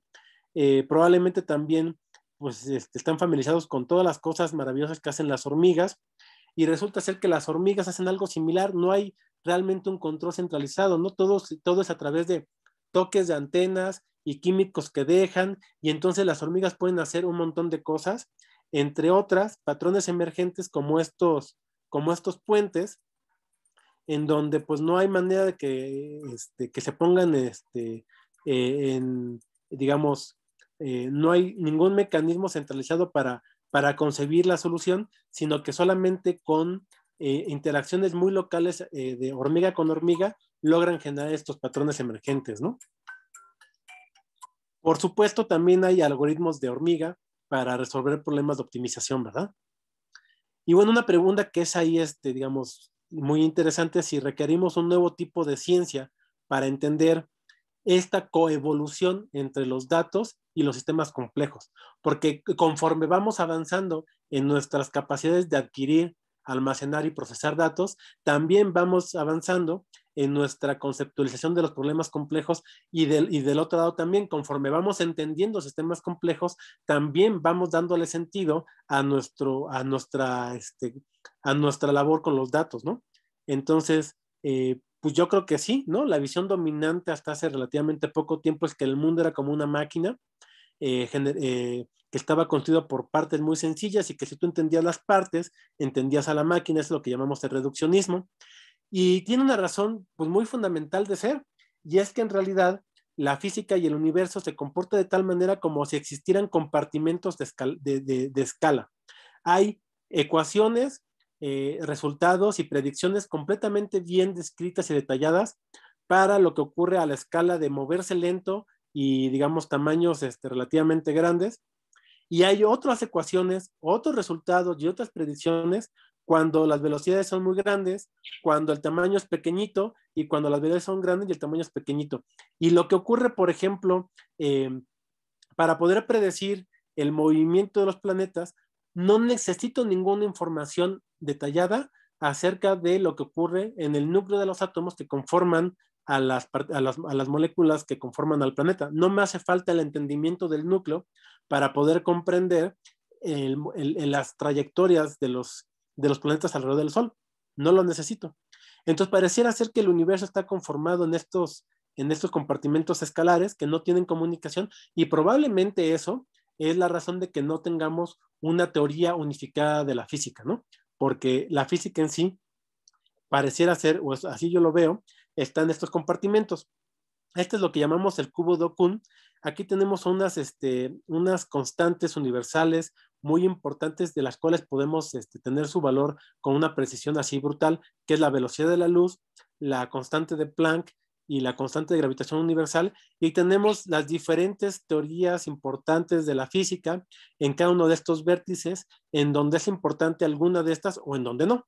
Aquí está la mecánica clásica newtoniana, y si empieza a ser importante la velocidad comparada contra la velocidad de la luz, pues tenemos la relatividad especial, ¿no? Es bien interesante saber, por ejemplo, que esta constante tiene una interpretación informacional como la máxima velocidad de transmisión de la información en el, universo. La constante de Planck es, eh, te dice la máxima, eh, eh, digamos, es un límite informacional que tiene que ver con cuánta inferencia yo puedo generar a partir de un conjunto de mediciones. Y la G nos dice algo como cuánta información le cabe a un cacho de, espacio-tiempo. Entonces, estos compartimentos, estos compartimentos de escala parece ser que están relacionados con restricciones informacionales del universo. Ahora, esto es lo que hace la física tradicional. ¿Ok? Hay escalas características. Yo puedo conocer todo de la mecánica cuántica, todo de la mecánica clásica, etcétera, en compartimentos muy bien definidos donde hay escalas características. Pero ¿y la vida? El mejor sistema complejo es la vida. ¿Cuál es la escala característica de la vida? La vida está en el organismo con sus funciones, está en los tejidos y los órganos, está en la célula, está en el DNA, está en las moléculas, está en los átomos, está en el núcleo. ¿En dónde está suficientemente bien descrito el fenómeno vida? Pues resulta que el fenómeno vida no tiene una escala característica, cruza todas las escalas. Entonces las escalas son importantes y quien se dio cuenta pues, brillantemente de esto, pues es Mandelbrot, acerca de que hay un conjunto de fenómenos en la naturaleza que son invariantes de escala, entre ellos los fractales, contrariamente a lo que decía Galileo, de que los eh, caracteres con el cual estaba escrito el libro del universo, pues eran triángulos, círculos y formas geométricas, pues no, la naturaleza está escrita en estructuras invariantes de escala que no cambian con la escala como son los fractales. Eh, y normalmente en sistemas complejos, y es un problema importante en ciencia de datos, pues es que tenemos problemas que no solamente tienen interacciones entre los elementos a una escala característica, sino que además hay información que fluye entre diferentes escalas. Un libro fenomenal para entender este, digamos, la importancia de las escalas es este justamente Scale de Geoffrey West, este, donde habla eh, de, la importancia de, este concepto, pero hay dentro de la invariancia de escala un tipo de invariancia de escala muy importante que es la dinámica, la que se ve en las series de tiempo, la que se ve en las fluctuaciones. Y es que un problema generalizado, dice Spiros Makridakis, por ejemplo, en salud, es que tendemos a ver problemas que son dinámicos como si fueran estáticos, como es el caso de entender la, la hipertensión o los valores o los valores de la presión arterial. Y es que resulta ser que si uno ve series de tiempo fisiológicas importantes, como la frecuencia cardíaca, y uno ve sus fluctuaciones, y luego le mete un aparato matemático que no sé si están familiarizados, supongo yo que sí, que es una transformada de Fourier, en donde tú aquí avientas señales periódicas de diferentes frecuencias y otra y otra y otra, y las sumas y te da la señal que tú quieres, y luego te preguntas, la frecuencia de una de esas señales periódicas, ¿con con cuánto contribuye a la construcción de la señal, pues entonces esta frecuencia contribuye con tanto, esta con tanto, esta con tanto, se ve así y si lo pongo en log log, lo puedo fitear por una línea recta, entonces quiere decir que esto es una ley de potencia y quiere decir que aquí hay invarianza de escala, que este coeficiente de la pendiente de esta línea recta es el coeficiente de escalamiento del fenómeno y lo que te quiere decir es que la dinámica de la frecuencia cardíaca se ve similar en todas las frecuencias de observación. Eso está padrísimo. Y pasa lo mismo en el cerebro. Y además sabemos que cuando, este, cuando tenemos personas no sanas, justamente se pierde esta característica de invarianza de escala dinámica este, en el corazón. Este, pasa lo mismo en, sistemas neurológicos y en general Goldsberger y otros acuñaron el término de fisiología fractal para hablar justamente de esta invarianza de escala dinámica en los procesos fisiológicos humanos. Y poco a poco fuimos construyendo lo que llamamos la hipótesis de la criticalidad, en donde estos sistemas que tienen invarianza de escala dinámica y que la pendiente sea una pendiente que esté entre más o menos 0.5 y 1.5, lo que conocemos como ruido rosa, ruido flicker, ruido no entre F, si está en, no, solamente que, que sea, no solamente que sea una ley de potencia, sino que además la pendiente esté entre esos valores, bueno, ahí el sistema adquiere las mayores capacidades computacionales y está como en una especie de óptimo en ese balance del que hablábamos de complectere entre la robustez y la flexibilidad o procesos que generan aleatoriedad y procesos que generan orden. Aquí les dejo justamente un video que habla mucho de eso, ¿no? Y en términos de salud ecosistémica, justamente cuando yo llegué a Conavio me di cuenta que ellos ya tenían construido algo fabuloso, pero en términos del Estado, lo que llamamos la integridad de los ecosistemas, y que hacía falta incorporar pues las otras componentes. Ahora, ¿por qué es importante? Porque cuando tenemos ambientes este, que tienen, eh, que, tienen baja, baja este, salud ecosistémica, por ejemplo, en donde ya no hay mamíferos grandes, lo que ocurre es que al haber, una defaunación, una pérdida de grandes animales, entonces no se comen, por ejemplo, pues mucha comida del follaje. Es un experimento que hizo Rodolfo Dirso en África, en donde con barreras físicas separó este, dos sitios con tratamiento donde sí hay animales grandes, donde no hay animales grandes, y entonces donde no hay animales grandes hay un aumento muy grande de las poblaciones de roedores, estos roedores tienen ectoparásitos. Hay un fenómeno que llamamos de la dilución, en donde ahora estos ectoparásitos van, a tener una carga de patógenos importante. Van, lo miden y encuentran que en estos ectoparásitos hay todos estos patógenos, entre otros, la peste negra. De tal manera que este, pues estos animalitos eh, pueden, eh, digamos, tienen el potencial sobre todo en ambientes deforestados y defaunados, de transmitirnos enfermedades como el ébola o enfermedades como, este, como el SARS-2 COVID, ¿no? Eh, y hay lo que yo llamo un prisma de, la, de, la, de las pandemias, en donde por un lado tenemos como nuestros estilos de vida modernos, que se traducen en comorbidades del estilo obesidad-diabetes. Hay un hipercentralismo que hace que eh, justamente la sociedad pierda complejidad, pierda capacidades computacionales para poder responder y entonces eh, nuestra sociedad es más lenta para responder. Eh, por otro lado, hay una hiperconectividad que se traduce a que si antes una epidemia viajaba a la velocidad de camello, pues ahora viaja a la velocidad de, de, American Airlines. Y por último, la deforestación y la defaunación, pues hacen un potencial sonótico muy grande. Entonces, probablemente por efecto, por efecto de la pérdida de biodiversidad generalizada, podríamos estar entrando en una era de pandemias. ¿Ok? Entonces, la perspectiva con la que yo entré en Conavia, pues justamente esta, utilizar este, el ciencia de datos y, ciencias de la complejidad para ir nutriendo este, esta, esta primera aproximación que yo llamo como de orden cero de la salud de los ecosistemas en términos de, del estado de los mismos, eh, como al estilo de tú, tu primera aproximación de estar sano quiere decir que tu frecuencia cardíaca pues esté entre ciertos valores, tu presión arterial también, tu frecuencia respiratoria, y eso es lo que pensamos que, que, codifica la idea de integridad ecosistémica, la manifestación de los procesos de autoorganización termodinámica de los ecosistemas, que se manifiesta en que diferentes aspectos de su estructura, composición y función caen en valores característicos que pensamos que son este, digamos, los óptimos y entonces podemos medir su estado. Pero por supuesto, para eso pues requerimos un montón de datos. Necesitamos datos de percepción remota para poder saber la estructura y composición de la vegetación. Necesitamos de esos mismos datos de percepción remota y además eh, modelos de inteligencia artificial eh, por aprendizaje de máquina como los que hace Eric para este, poder eh, conocer el cambio de uso de suelo.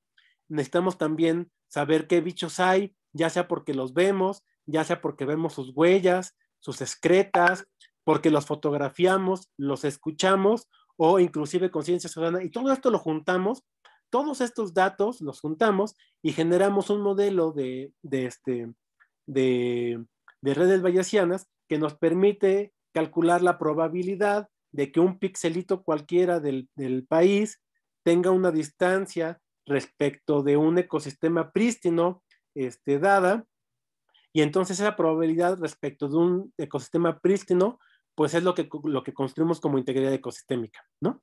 Entonces está padrísimo, pero pues entonces yo empecé a considerar que pues hacía falta incorporar estos otros este, atributos de la salud, por ejemplo, la parte dinámica, y entonces introducimos por primera vez en la ecología la idea de criticalidad ecosistémica, justamente utilizando series de tiempo, las fluctuaciones de series de tiempo de respiración ecosistémica que se miden con unas, con unas torres que miden intercambio gaseoso, y entonces introdujimos ahí justamente la idea de criticalidad, de la invariancia de escala dinámica y del balance entre robustez y flexibilidad.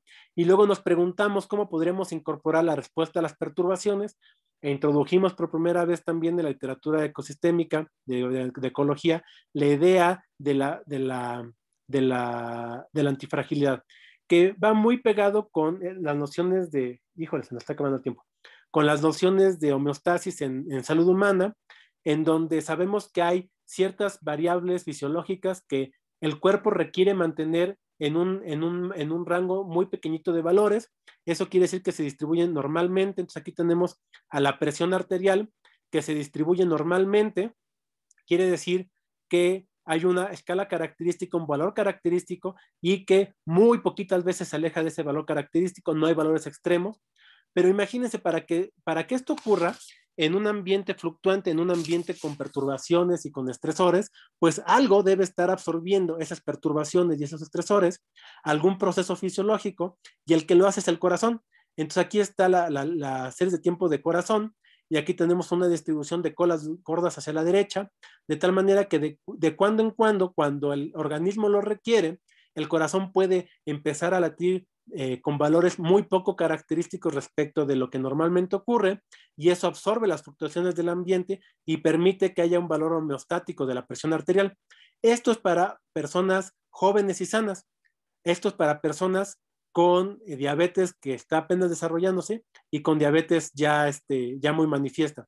Y lo que vemos es que cuando hay vejez o cuando hay una enfermedad crónica degenerativa como la diabetes, que es este caso, eh, se va perdiendo la normalidad en la variable homeostática y la variable que, absorbe las fluctuaciones pierde su cola, su, cola gorda a la derecha y eventualmente la variable que antes, era, que antes era normal ahora tiene una cola gorda a la izquierda y la variable que tenía cola gorda a la derecha ahora es gaussiana. ¿no? Entonces, eh, de cierta manera la homeostasis nos está hablando acerca de ciertas variables acopladas que nos permiten responder a las, perturbaciones del entorno. Y de eso es de lo que habla la antifragilidad. Aquí les dejo una plática de mi amigo Rubén Foción, que justamente es experto en eso. Y entonces ustedes piensan en algo frágil como una copa de cristal, pues esta copa de cristal, pues no le gustan las perturbaciones, no le gustan los estresores, no les gusta el tiempo, ¿no? Cualquier cosa la rompe.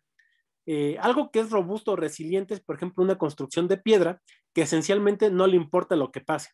¿Y qué es lo contrario de lo frágil? Pues lo contrario de lo frágil no es lo robusto y lo contrario de lo frágil no es lo resiliente.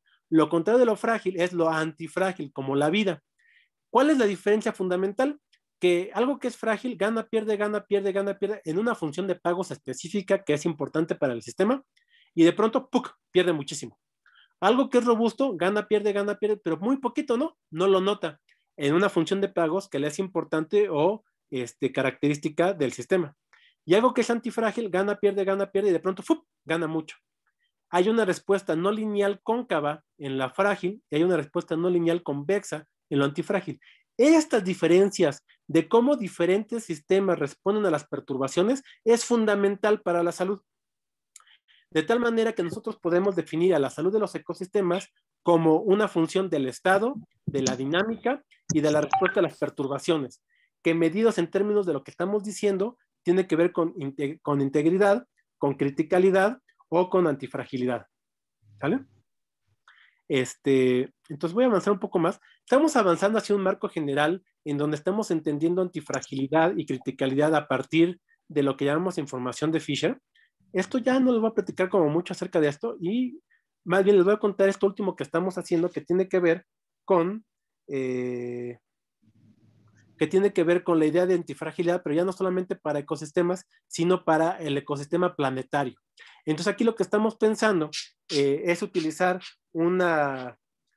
este, eh, un conocimiento de termodinámica fuera del equilibrio que ha, que ha estado produciendo continuamente Caro Mikaelian, en donde él ha identificado que los sistemas vivos lo que hacen fundamentalmente es disipar fotones solares a través de producir entropía y que esa es como su función principal. Y que los ecosistemas que son sanos son justamente los que mayor disipación pueden generar, los que mayor entropía pueden generar y que eso se puede aproximar, por ejemplo, con el albedo.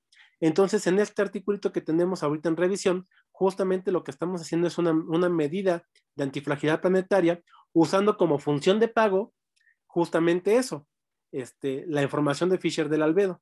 Y lo que hemos encontrado es que efectivamente hay una pérdida en la antifragilidad planetaria, que de hecho hay otro ejercicio que han hecho eh, Rubén, no, perdón, eh, Juan Claudio Toledo y Alejandro Frank del C3, en donde ven pérdida de criticalidad en el sistema planetario viendo este, series de tiempo de, temperatura.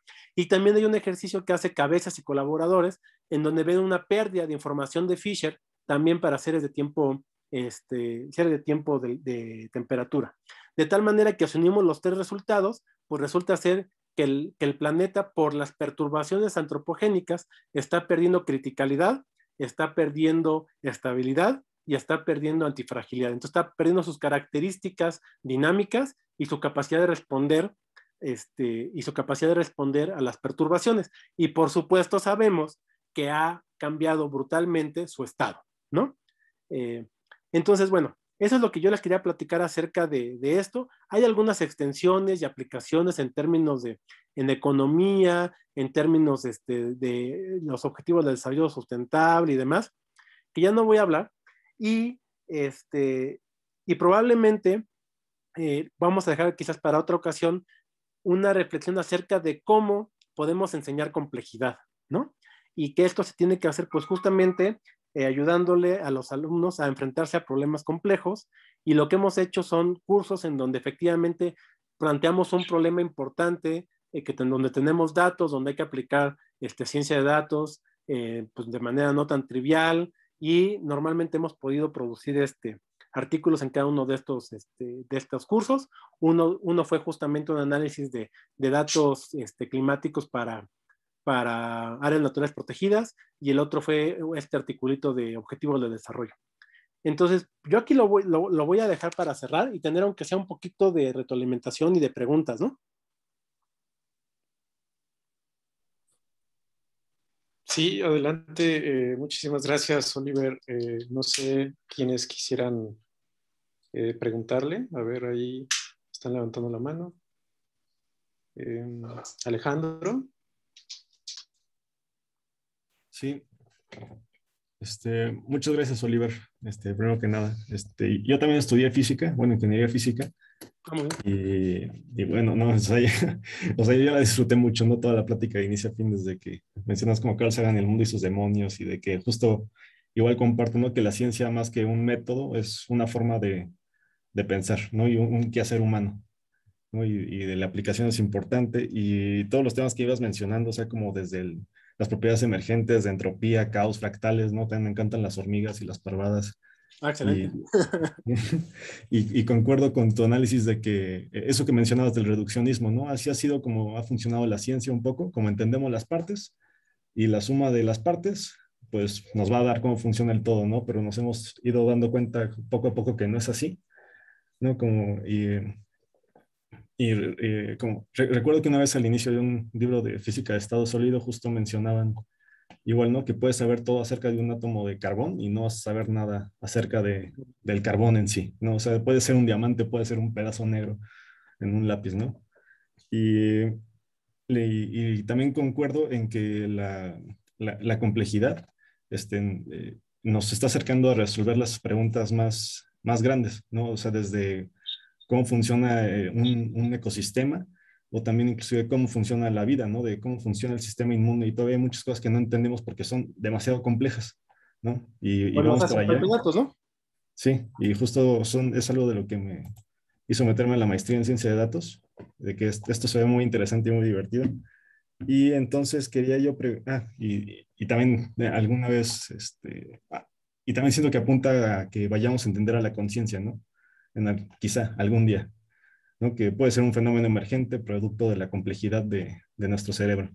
Y lo que quería preguntarte era que si consideras que ya existe una mayor conciencia en el, en, el ámbito científico de la importancia de la complejidad, ¿no? Porque yo como estudiante siento que todavía no se nos enseña tanto, ¿no? todavía no se nos avientan tanto estas teorías como de caos y de fractalidades y como que se queda como para posgrado, ¿no? Y para, y para otras cosas. Y, y, justo me empezaste así tu plática, ¿no? Que, que ya se reconoció, ya se les dio un premio Nobel justo por eso. Y quería preguntarte a ti cómo sientes que si, si ya está teniendo mayor impacto, si ya se está reconociendo, si todavía le falta y cómo lo ves. Pues mira, lo que pasa es que también hay que entender que hay, hay escalas temporales bien diferentes, ¿no?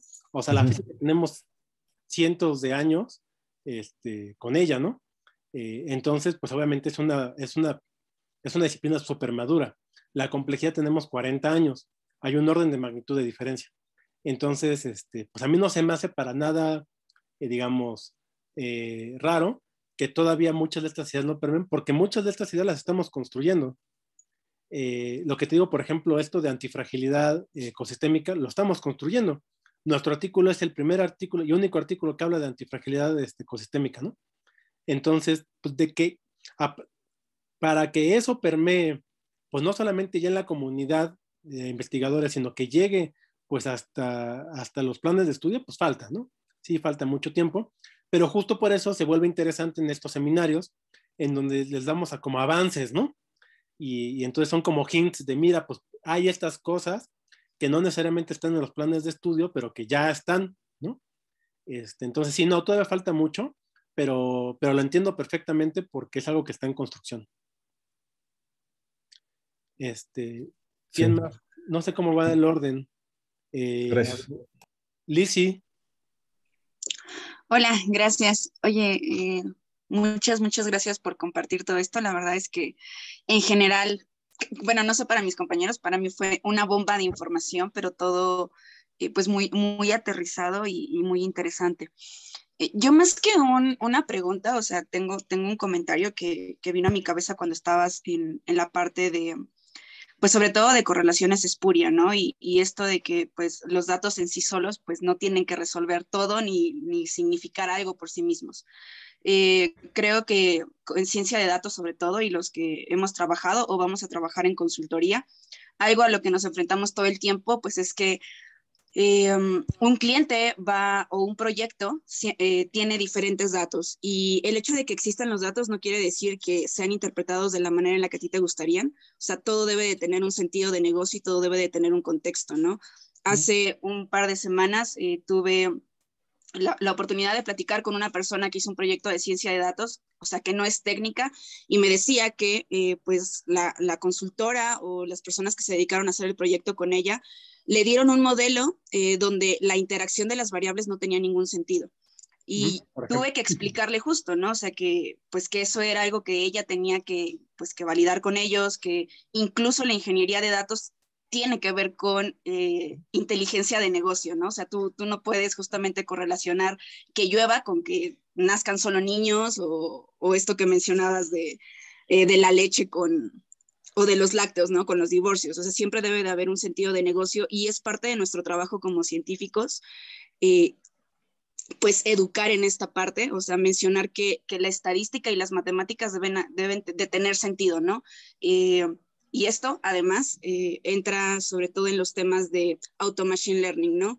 He estado muy familiarizada con este tipo de, aplicaciones donde tengo clientes que me dicen, oye, pero yo ya tengo pues mi modelo y yo ya metí todos mis datos y claro, o sea, claro que la máquina va a buscar correlaciones y claro que la máquina va a buscar darte un mejor resultado, pero en el momento en el que tú tengas que voltear y dar una respuesta acerca de cómo funciona, seguramente no va a tener ningún sentido. Y creo que el comentario más es como en general a nosotros como científicos de datos, pues que todo lo que hacemos debe de tener un sentido, que esto no es una licuadora y que no, no hay recetas mágicas, ¿no? O sea, todo tiene ciencia por atrás, matemáticas, o sea, física, puta, y además ahora, pues, con sistemas complejos y problemas que estamos resolviendo en la sociedad, incluso con psicología, ¿no? Correcto, pues, creo que tienes toda la razón y, y, justo creo que era esa la motivación de, de, la plática, el que si, es, si la maestría es en ciencia de datos, no hay que perder de vista eh, la parte de generación eh, rigurosa de evidencia eh, por o en beneficio de la tecnología y del uso de la tecnología, ¿no? Entonces sí, hay, que aprender las técnicas y hay que saberlas usar muy bien, pero pues no podemos perder de vista el, otro trasfondo, ¿no? Este, no sé cómo ve el orden. A ver, Octavio. Doctor, buenas tardes. Gracias por la plática. La, la disfruté bastante plenamente. A mí me pareció muy interesante cuando llegó a esta parte ya de los sistemas complejos, eh, cuando nos mencionó que dentro de todos estos personajes que se han dedicado a estudiarlos, pues no, existe un consenso en cuanto a la definición. Y la pregunta que, le había hecho por, el chat era la siguiente, si dentro de estas distintas este, definiciones que ellos proponen, existe algún supuesto en común, alguna propiedad o características que compartan, que sean identificables para la definición de sistemas complejos, dices, ¿no? Sí. Son estas que te puse, este, justamente, ¿no? Las interacciones, eh, emergencia, autoorganización, eh, jerarquía, eh, este, esas, esas, propiedades son generales para todos los sistemas complejos.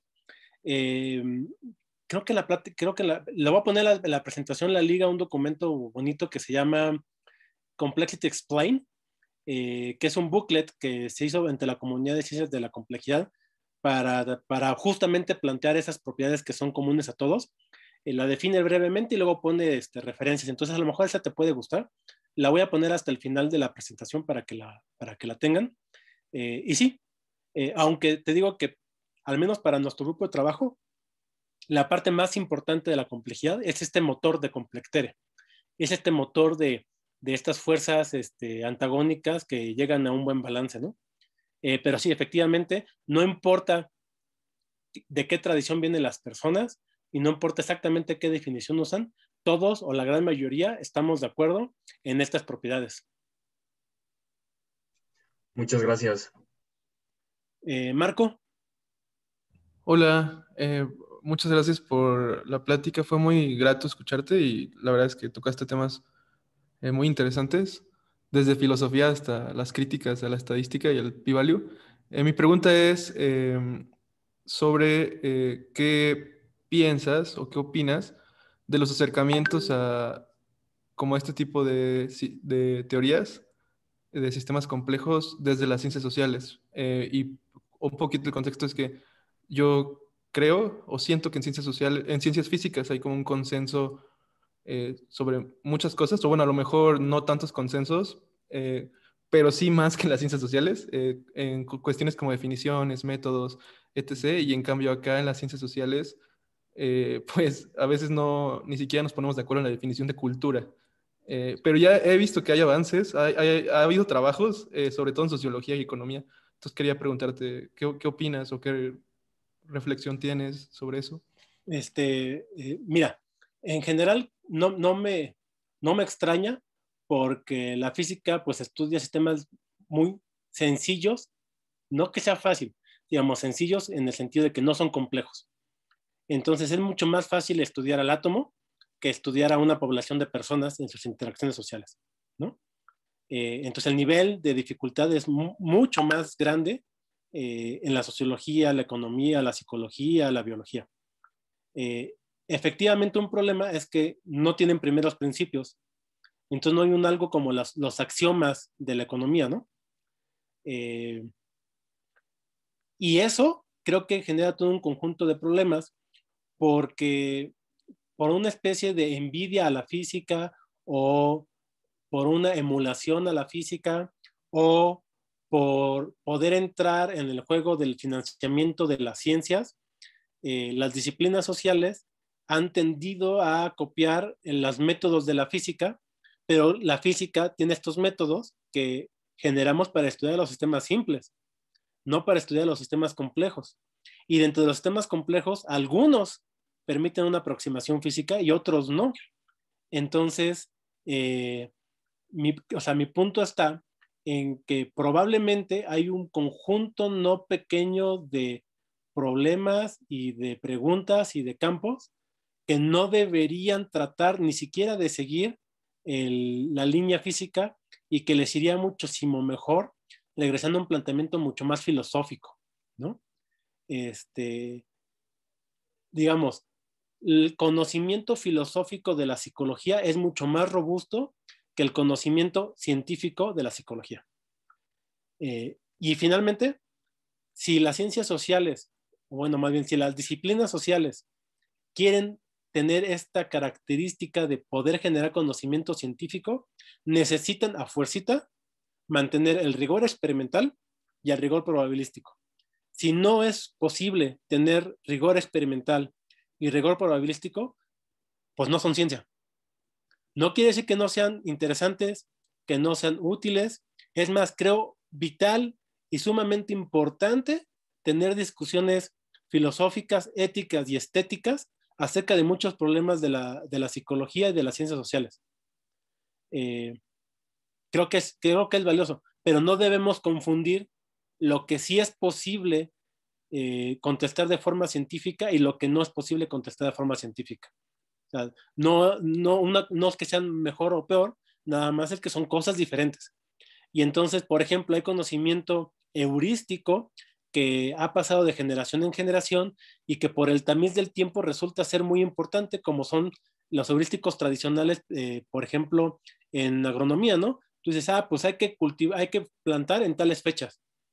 Funciona, a lo mejor no te puedo explicar eh, físico-químicamente por qué funciona, pero funciona. Hazlo así, ¿no? Lo que decíamos acerca de responder a las a, crisis. Ponte el tapabocas, ¿por qué? Pues porque siempre en, todas las pandemias usamos tapabocas, ¿no? Hay fotografías famosas y hay máscaras de, ¿no? usa el tapabocas, ¿no? O sea, es difícil que te vaya a hacer daño, ¿no?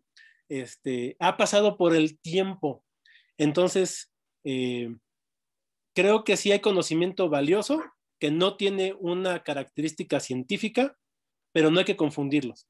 Hay que tratarlos de manera diferenciada. Este, Edgar. Bueno, bueno, ¿me escuchan? ¿Sí? ¿Me escuchas? ¿Sí? Hola, Oliver. Buena tarde. Este, gracias por, la plática, por, por, la exposición coincido mucho con mi compañera Lizzie. Ha sido, esta ha sido una de las pláticas que me ha mantenido así muy inmerso y ha sido una aventura desde que iniciaste hasta ahora que terminaste este, esta parte de, la, de, los, de los sistemas complejos. Eh, hay muchos, muchos conceptos que has manejado y que cuando empezaste como a manejarlos empezaron a ser un poquillo ahí medio complejos. Pero después cuando los fuiste aterrizando, este, se fueron ahí como resolviendo dudillas que, que, empezaba a tener. Eh, me gustó mucho la parte de, de, las aves, ¿no? De las parvadas, de cómo, cómo mencionas que en ese sistema no hay, no hay un control central, ¿no? Sino se va distribuyendo conforme ellos eh, se van moviendo. Y yo vi un, un documental muy parecido eh, que era el control de masas para reducir el riesgo en, en, situaciones de pánico, este, hecho en, en Alemania. Eh, para reducir este, cuando había problemas en, en, los estados de fútbol, pues reducir los riesgos este, por, por la presencia del pánico, ¿no? Entonces me hizo muy similar como, como, como ese estudio y la aplicación. Eh, algo genial de esto que, que veo yo es, eh, es la primera vez que yo en ahorita en, mi, en, mi, en, mi, en este proceso de, de, ciencia de datos, que veo un, un, una plática donde eh, la ciencia de datos y, y, en esta parte de los sistemas complejos, no sé, es más utilizada para este tema de la salud y el ecosistema, ¿no? Y que nos puede llevar a, a este, a este, para alcanzar el equilibrio este, de, de salud que más para pues lo, lo, de siempre, ¿no? Como para el hiperconsumo, ¿no? La detección de fraudes y, y, y toda esta parte, ¿no? Que, que, que, que se desarrolla. Eh, felicidades por eso, la verdad es que está, está muy padre. Ahora, mi pregunta es, este, si bien mencionas la dualidad y, y el balance de, de, que debe mantener un sistema complejo, y hablando de esto último que, que, que mostraste en cuanto al, al, a la, al healthy del ecosistema, cuando empieza a perder ese balance o ese equilibrio el ecosistema, ¿deja de ser un sistema complejo? No, eh, más bien, ah, bueno, ajá. Eh, buena pregunta. pues sí, de hecho, eh, pues si pierde mucho ese balance, el sistema, el, el, sistema fisiológico del individuo deja de ser complejo y se muere. Ok. o sea, literalmente. Sí, o sea, deja de ser complejo y entonces, eh, bueno, termina en ese fin, ¿no? O sea, li ajá, liter literalmente puedes destruir al sistema complejo, ¿no? Y entonces van a quedar sus partes, pero ya no, lo que, ya no, ya no las interacciones y ya no el sistema como era, como era cuando todavía existían esas, esas interacciones y esos balances. Eh, efectivamente, eh, podemos desbaratar a un sistema complejo, ¿no? Este, si, por ejemplo, va perdiendo mucho sus características de generación de, de aleatoriedad, pues se puede congelar, ¿no? Y entonces sí. queda pues un cristal. Sí, sí o sea, justo. efectivamente, si tú, si tú rompes ese balance lo suficiente, destruyes el sistema complejo. ¿Qué es lo que está pasando, no? Muchos ecosistemas por el hiperconsumismo de uno mismo, ¿no? De, como seres humanos. Sí, eh, por, ahí, por ejemplo, eh, les dejé en las ligas un artículo que tenemos acerca de por qué pensamos que es un mal nombre utilizar eh, antropoceno, eh, uh -huh. porque históricamente el, ser, el ser humano cae dentro de las, no sé si ubican esta idea de relaciones, este, ¿cómo se llaman? Alométricas. si tú graficas el tamaño del bicho contra, por ejemplo, este, su, su tasa metabólica, caen en una ley de potencia. ¿Ok? Y esencialmente lo que te dice eso es que todos los mamíferos terrestres tenemos esencialmente la misma cantidad de latidos de corazón y lo que cambia es que los más chiquitos se los consumen más rápido, con mayores frecuencias, y los más grandes más lentamente. ¿Ok? okay. Ese tipo de relaciones alométricas hay varias y hay, hay unas que son muy importantes en términos de uso de energía y todos los mamíferos terrestres caen, incluyendo Homo sapiens primitivo, o lo que ya llamamos sapiens clásico, caen en una relación alométrica muy particular y luego en las sociedades preindustriales se va moviendo y en las sociedades organizadas en ciudades modernas está completamente lejos. Entonces lo que decimos es que en términos de sistemas complejos, los Homo sapiens que viven en ciudades modernas son bichos diferentes que los Homo sapiens clásicos y que lo que los diferencia es el acoplamiento con la tecnología que potencialice su capacidad para extraer energía y transformar el medio. Entonces, lo que decimos es que no es un antropoceno, sino un tecnoceno. Ya. Entonces, cuando, cuando, hablas justamente como de este hiperconsumo, realmente lo que yo lo traduciría en términos de un hiperacoplamiento tecnológico. Entonces ahí, digamos, la estrategia es identificar algunos tipos de, de tecnología que podríamos usar menos o no usar para limitar ese acoplamiento tecnológico y tratar de jalarnos a regresar a las relaciones alométricas que teníamos cuando éramos, este, cuando éramos este, Homo sapiens primitivos. Y eso pues tiene que ser con un proceso, pues obviamente voluntario, ¿no? Este, sí. De otra manera no va a funcionar. Y la, pre la pregunta del millón es si es posible, ¿qué tanto podemos regresar? Si no es que fue un fenómeno ya este, irreversible, si realmente podemos hacer un desacoplamiento tecnológico suficiente como para, como para solucionar el problema. Justo, muchas gracias. Eso que acabas de mencionar es lo que yo en mis términos así de banales llamo como el consumo responsable. ¿Mm? Y justo esa es, una, esa es una de las preguntas que tengo, ¿no? ¿Qué tanto está ya el hiperconsumo tan, tan inyectado, ¿no? O en, esto, en las palabras que dijiste, que sí puede ser reversible, ¿no? Y, y podamos llegar a ese consumo. Ah, muchísimas gracias.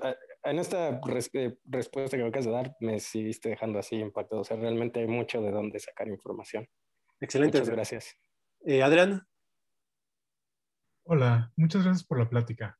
Eh, bueno, tenía una pregunta un poco más filosófica, tal vez. ¿Sí? Más quería saber si consideras tal vez que el, esta complejidad viene inherente de los sistemas o si es una inhabilidad de nosotros de entenderlos y las herramientas que estamos usando para tratar de capturarlos o entenderlos. O sea, si es, si es un proceso que se genera naturalmente complejo o si nosotros simplemente no lo entendemos. Ah, ok. Eh, mira, mi postura es por dos, por, dos lados, filosófica y física. Eh, cuando, uno, cuando uno estudia evolución, una pregunta que siempre queda un poco al aire es, ¿qué es lo que selecciona la selección natural? Y yo concuerdo con Caro Mekelia de que lo que selecciona la selección natural son aquellos organismos que son capaces de producir mayor entropía. Eh, y resulta ser que una de las maneras, yo creo que mejor o más claras para poder medir complejidad es a través de la entropía. Uno puede construir una métrica de complejidad utilizando la entropía multiplicada por su, por su complemento, es decir, eh, entropía multiplicado por 1 menos entropía, donde 1 menos entropía en términos informacionales es autoorganización y la entropía es emergencia. Entonces, la complejidad es el producto de la emergencia por la autoorganización es decir, de, de, la capacidad de explorar, de la capacidad de generar cosas nuevas, multiplicada por la capacidad de retener lo que has creado. ¿Ok? Entonces, eh, resulta ser que cuando los, cuando los sistemas están en criticalidad, cuando los sistemas están en, en su máximo de, bueno, cuando están en criticalidad, están en un máximo de complejidad, están en un máximo de información de Fisher y están en un máximo de, este, de, complejidad de información de Fisher y en un máximo de antifragilidad. Entonces, regresando al planteamiento evolutivo, la evolución va en la dirección de mayor complejidad. Entonces, no es solamente un problema de percepción, es la, la vida evoluciona en la flecha de la complejidad. Y la vida como fenómeno físico del universo, podríamos pensar que entonces el universo se mueve en la dirección de mayor complejidad. Muchas gracias, qué interesante respuesta. Este, Miguel. Hola, doctor. Muchas gracias por su plática. La verdad, igual que todos, este, me interesó muchísimo, particularmente la primera parte de la, la, revolución. Y bueno, yo le quería preguntar como, si algo muy breve, porque pues sigo entendiendo como de que es un científico de datos, ¿no? Allá estábamos teniendo una plática en una materia de que pues a veces en trabajos te pueden llegar a pedir que hagas, no sé, arquitectura, o el data engineering, o dashboards, análisis, etc. Entonces, no, es como la pregunta de usted, como qué considera que es, porque pues justamente yo, yo tengo como este duda si es que se ha esparcido como incorrectamente y si ya como muchos títulos de trabajo piden a un data scientist, aun cuando lo que quieran no es como tal hacer ciencia, ¿no? Sino chance hasta más como por mercadotecnia para atraer a más personas. Como, ah, sí, queremos un data scientist, este, pero realmente no vas a ser data scientist. Es correcto. Yo creo que sí hay un, este, eh, pasó como, a ver, es un poco como lo que ha pasado en términos de ciencias de la sostenibilidad. Eh, son, son campos con tanta diversidad que es difícil, es difícil, digamos, el mantenerlos en un, en un mismo cauce, ¿no? Entonces, eh, creo que también hay mucha diversidad en términos de cómo se manifiesta el quehacer de la ciencia de datos y entonces es difícil mantenerlo en un cauce.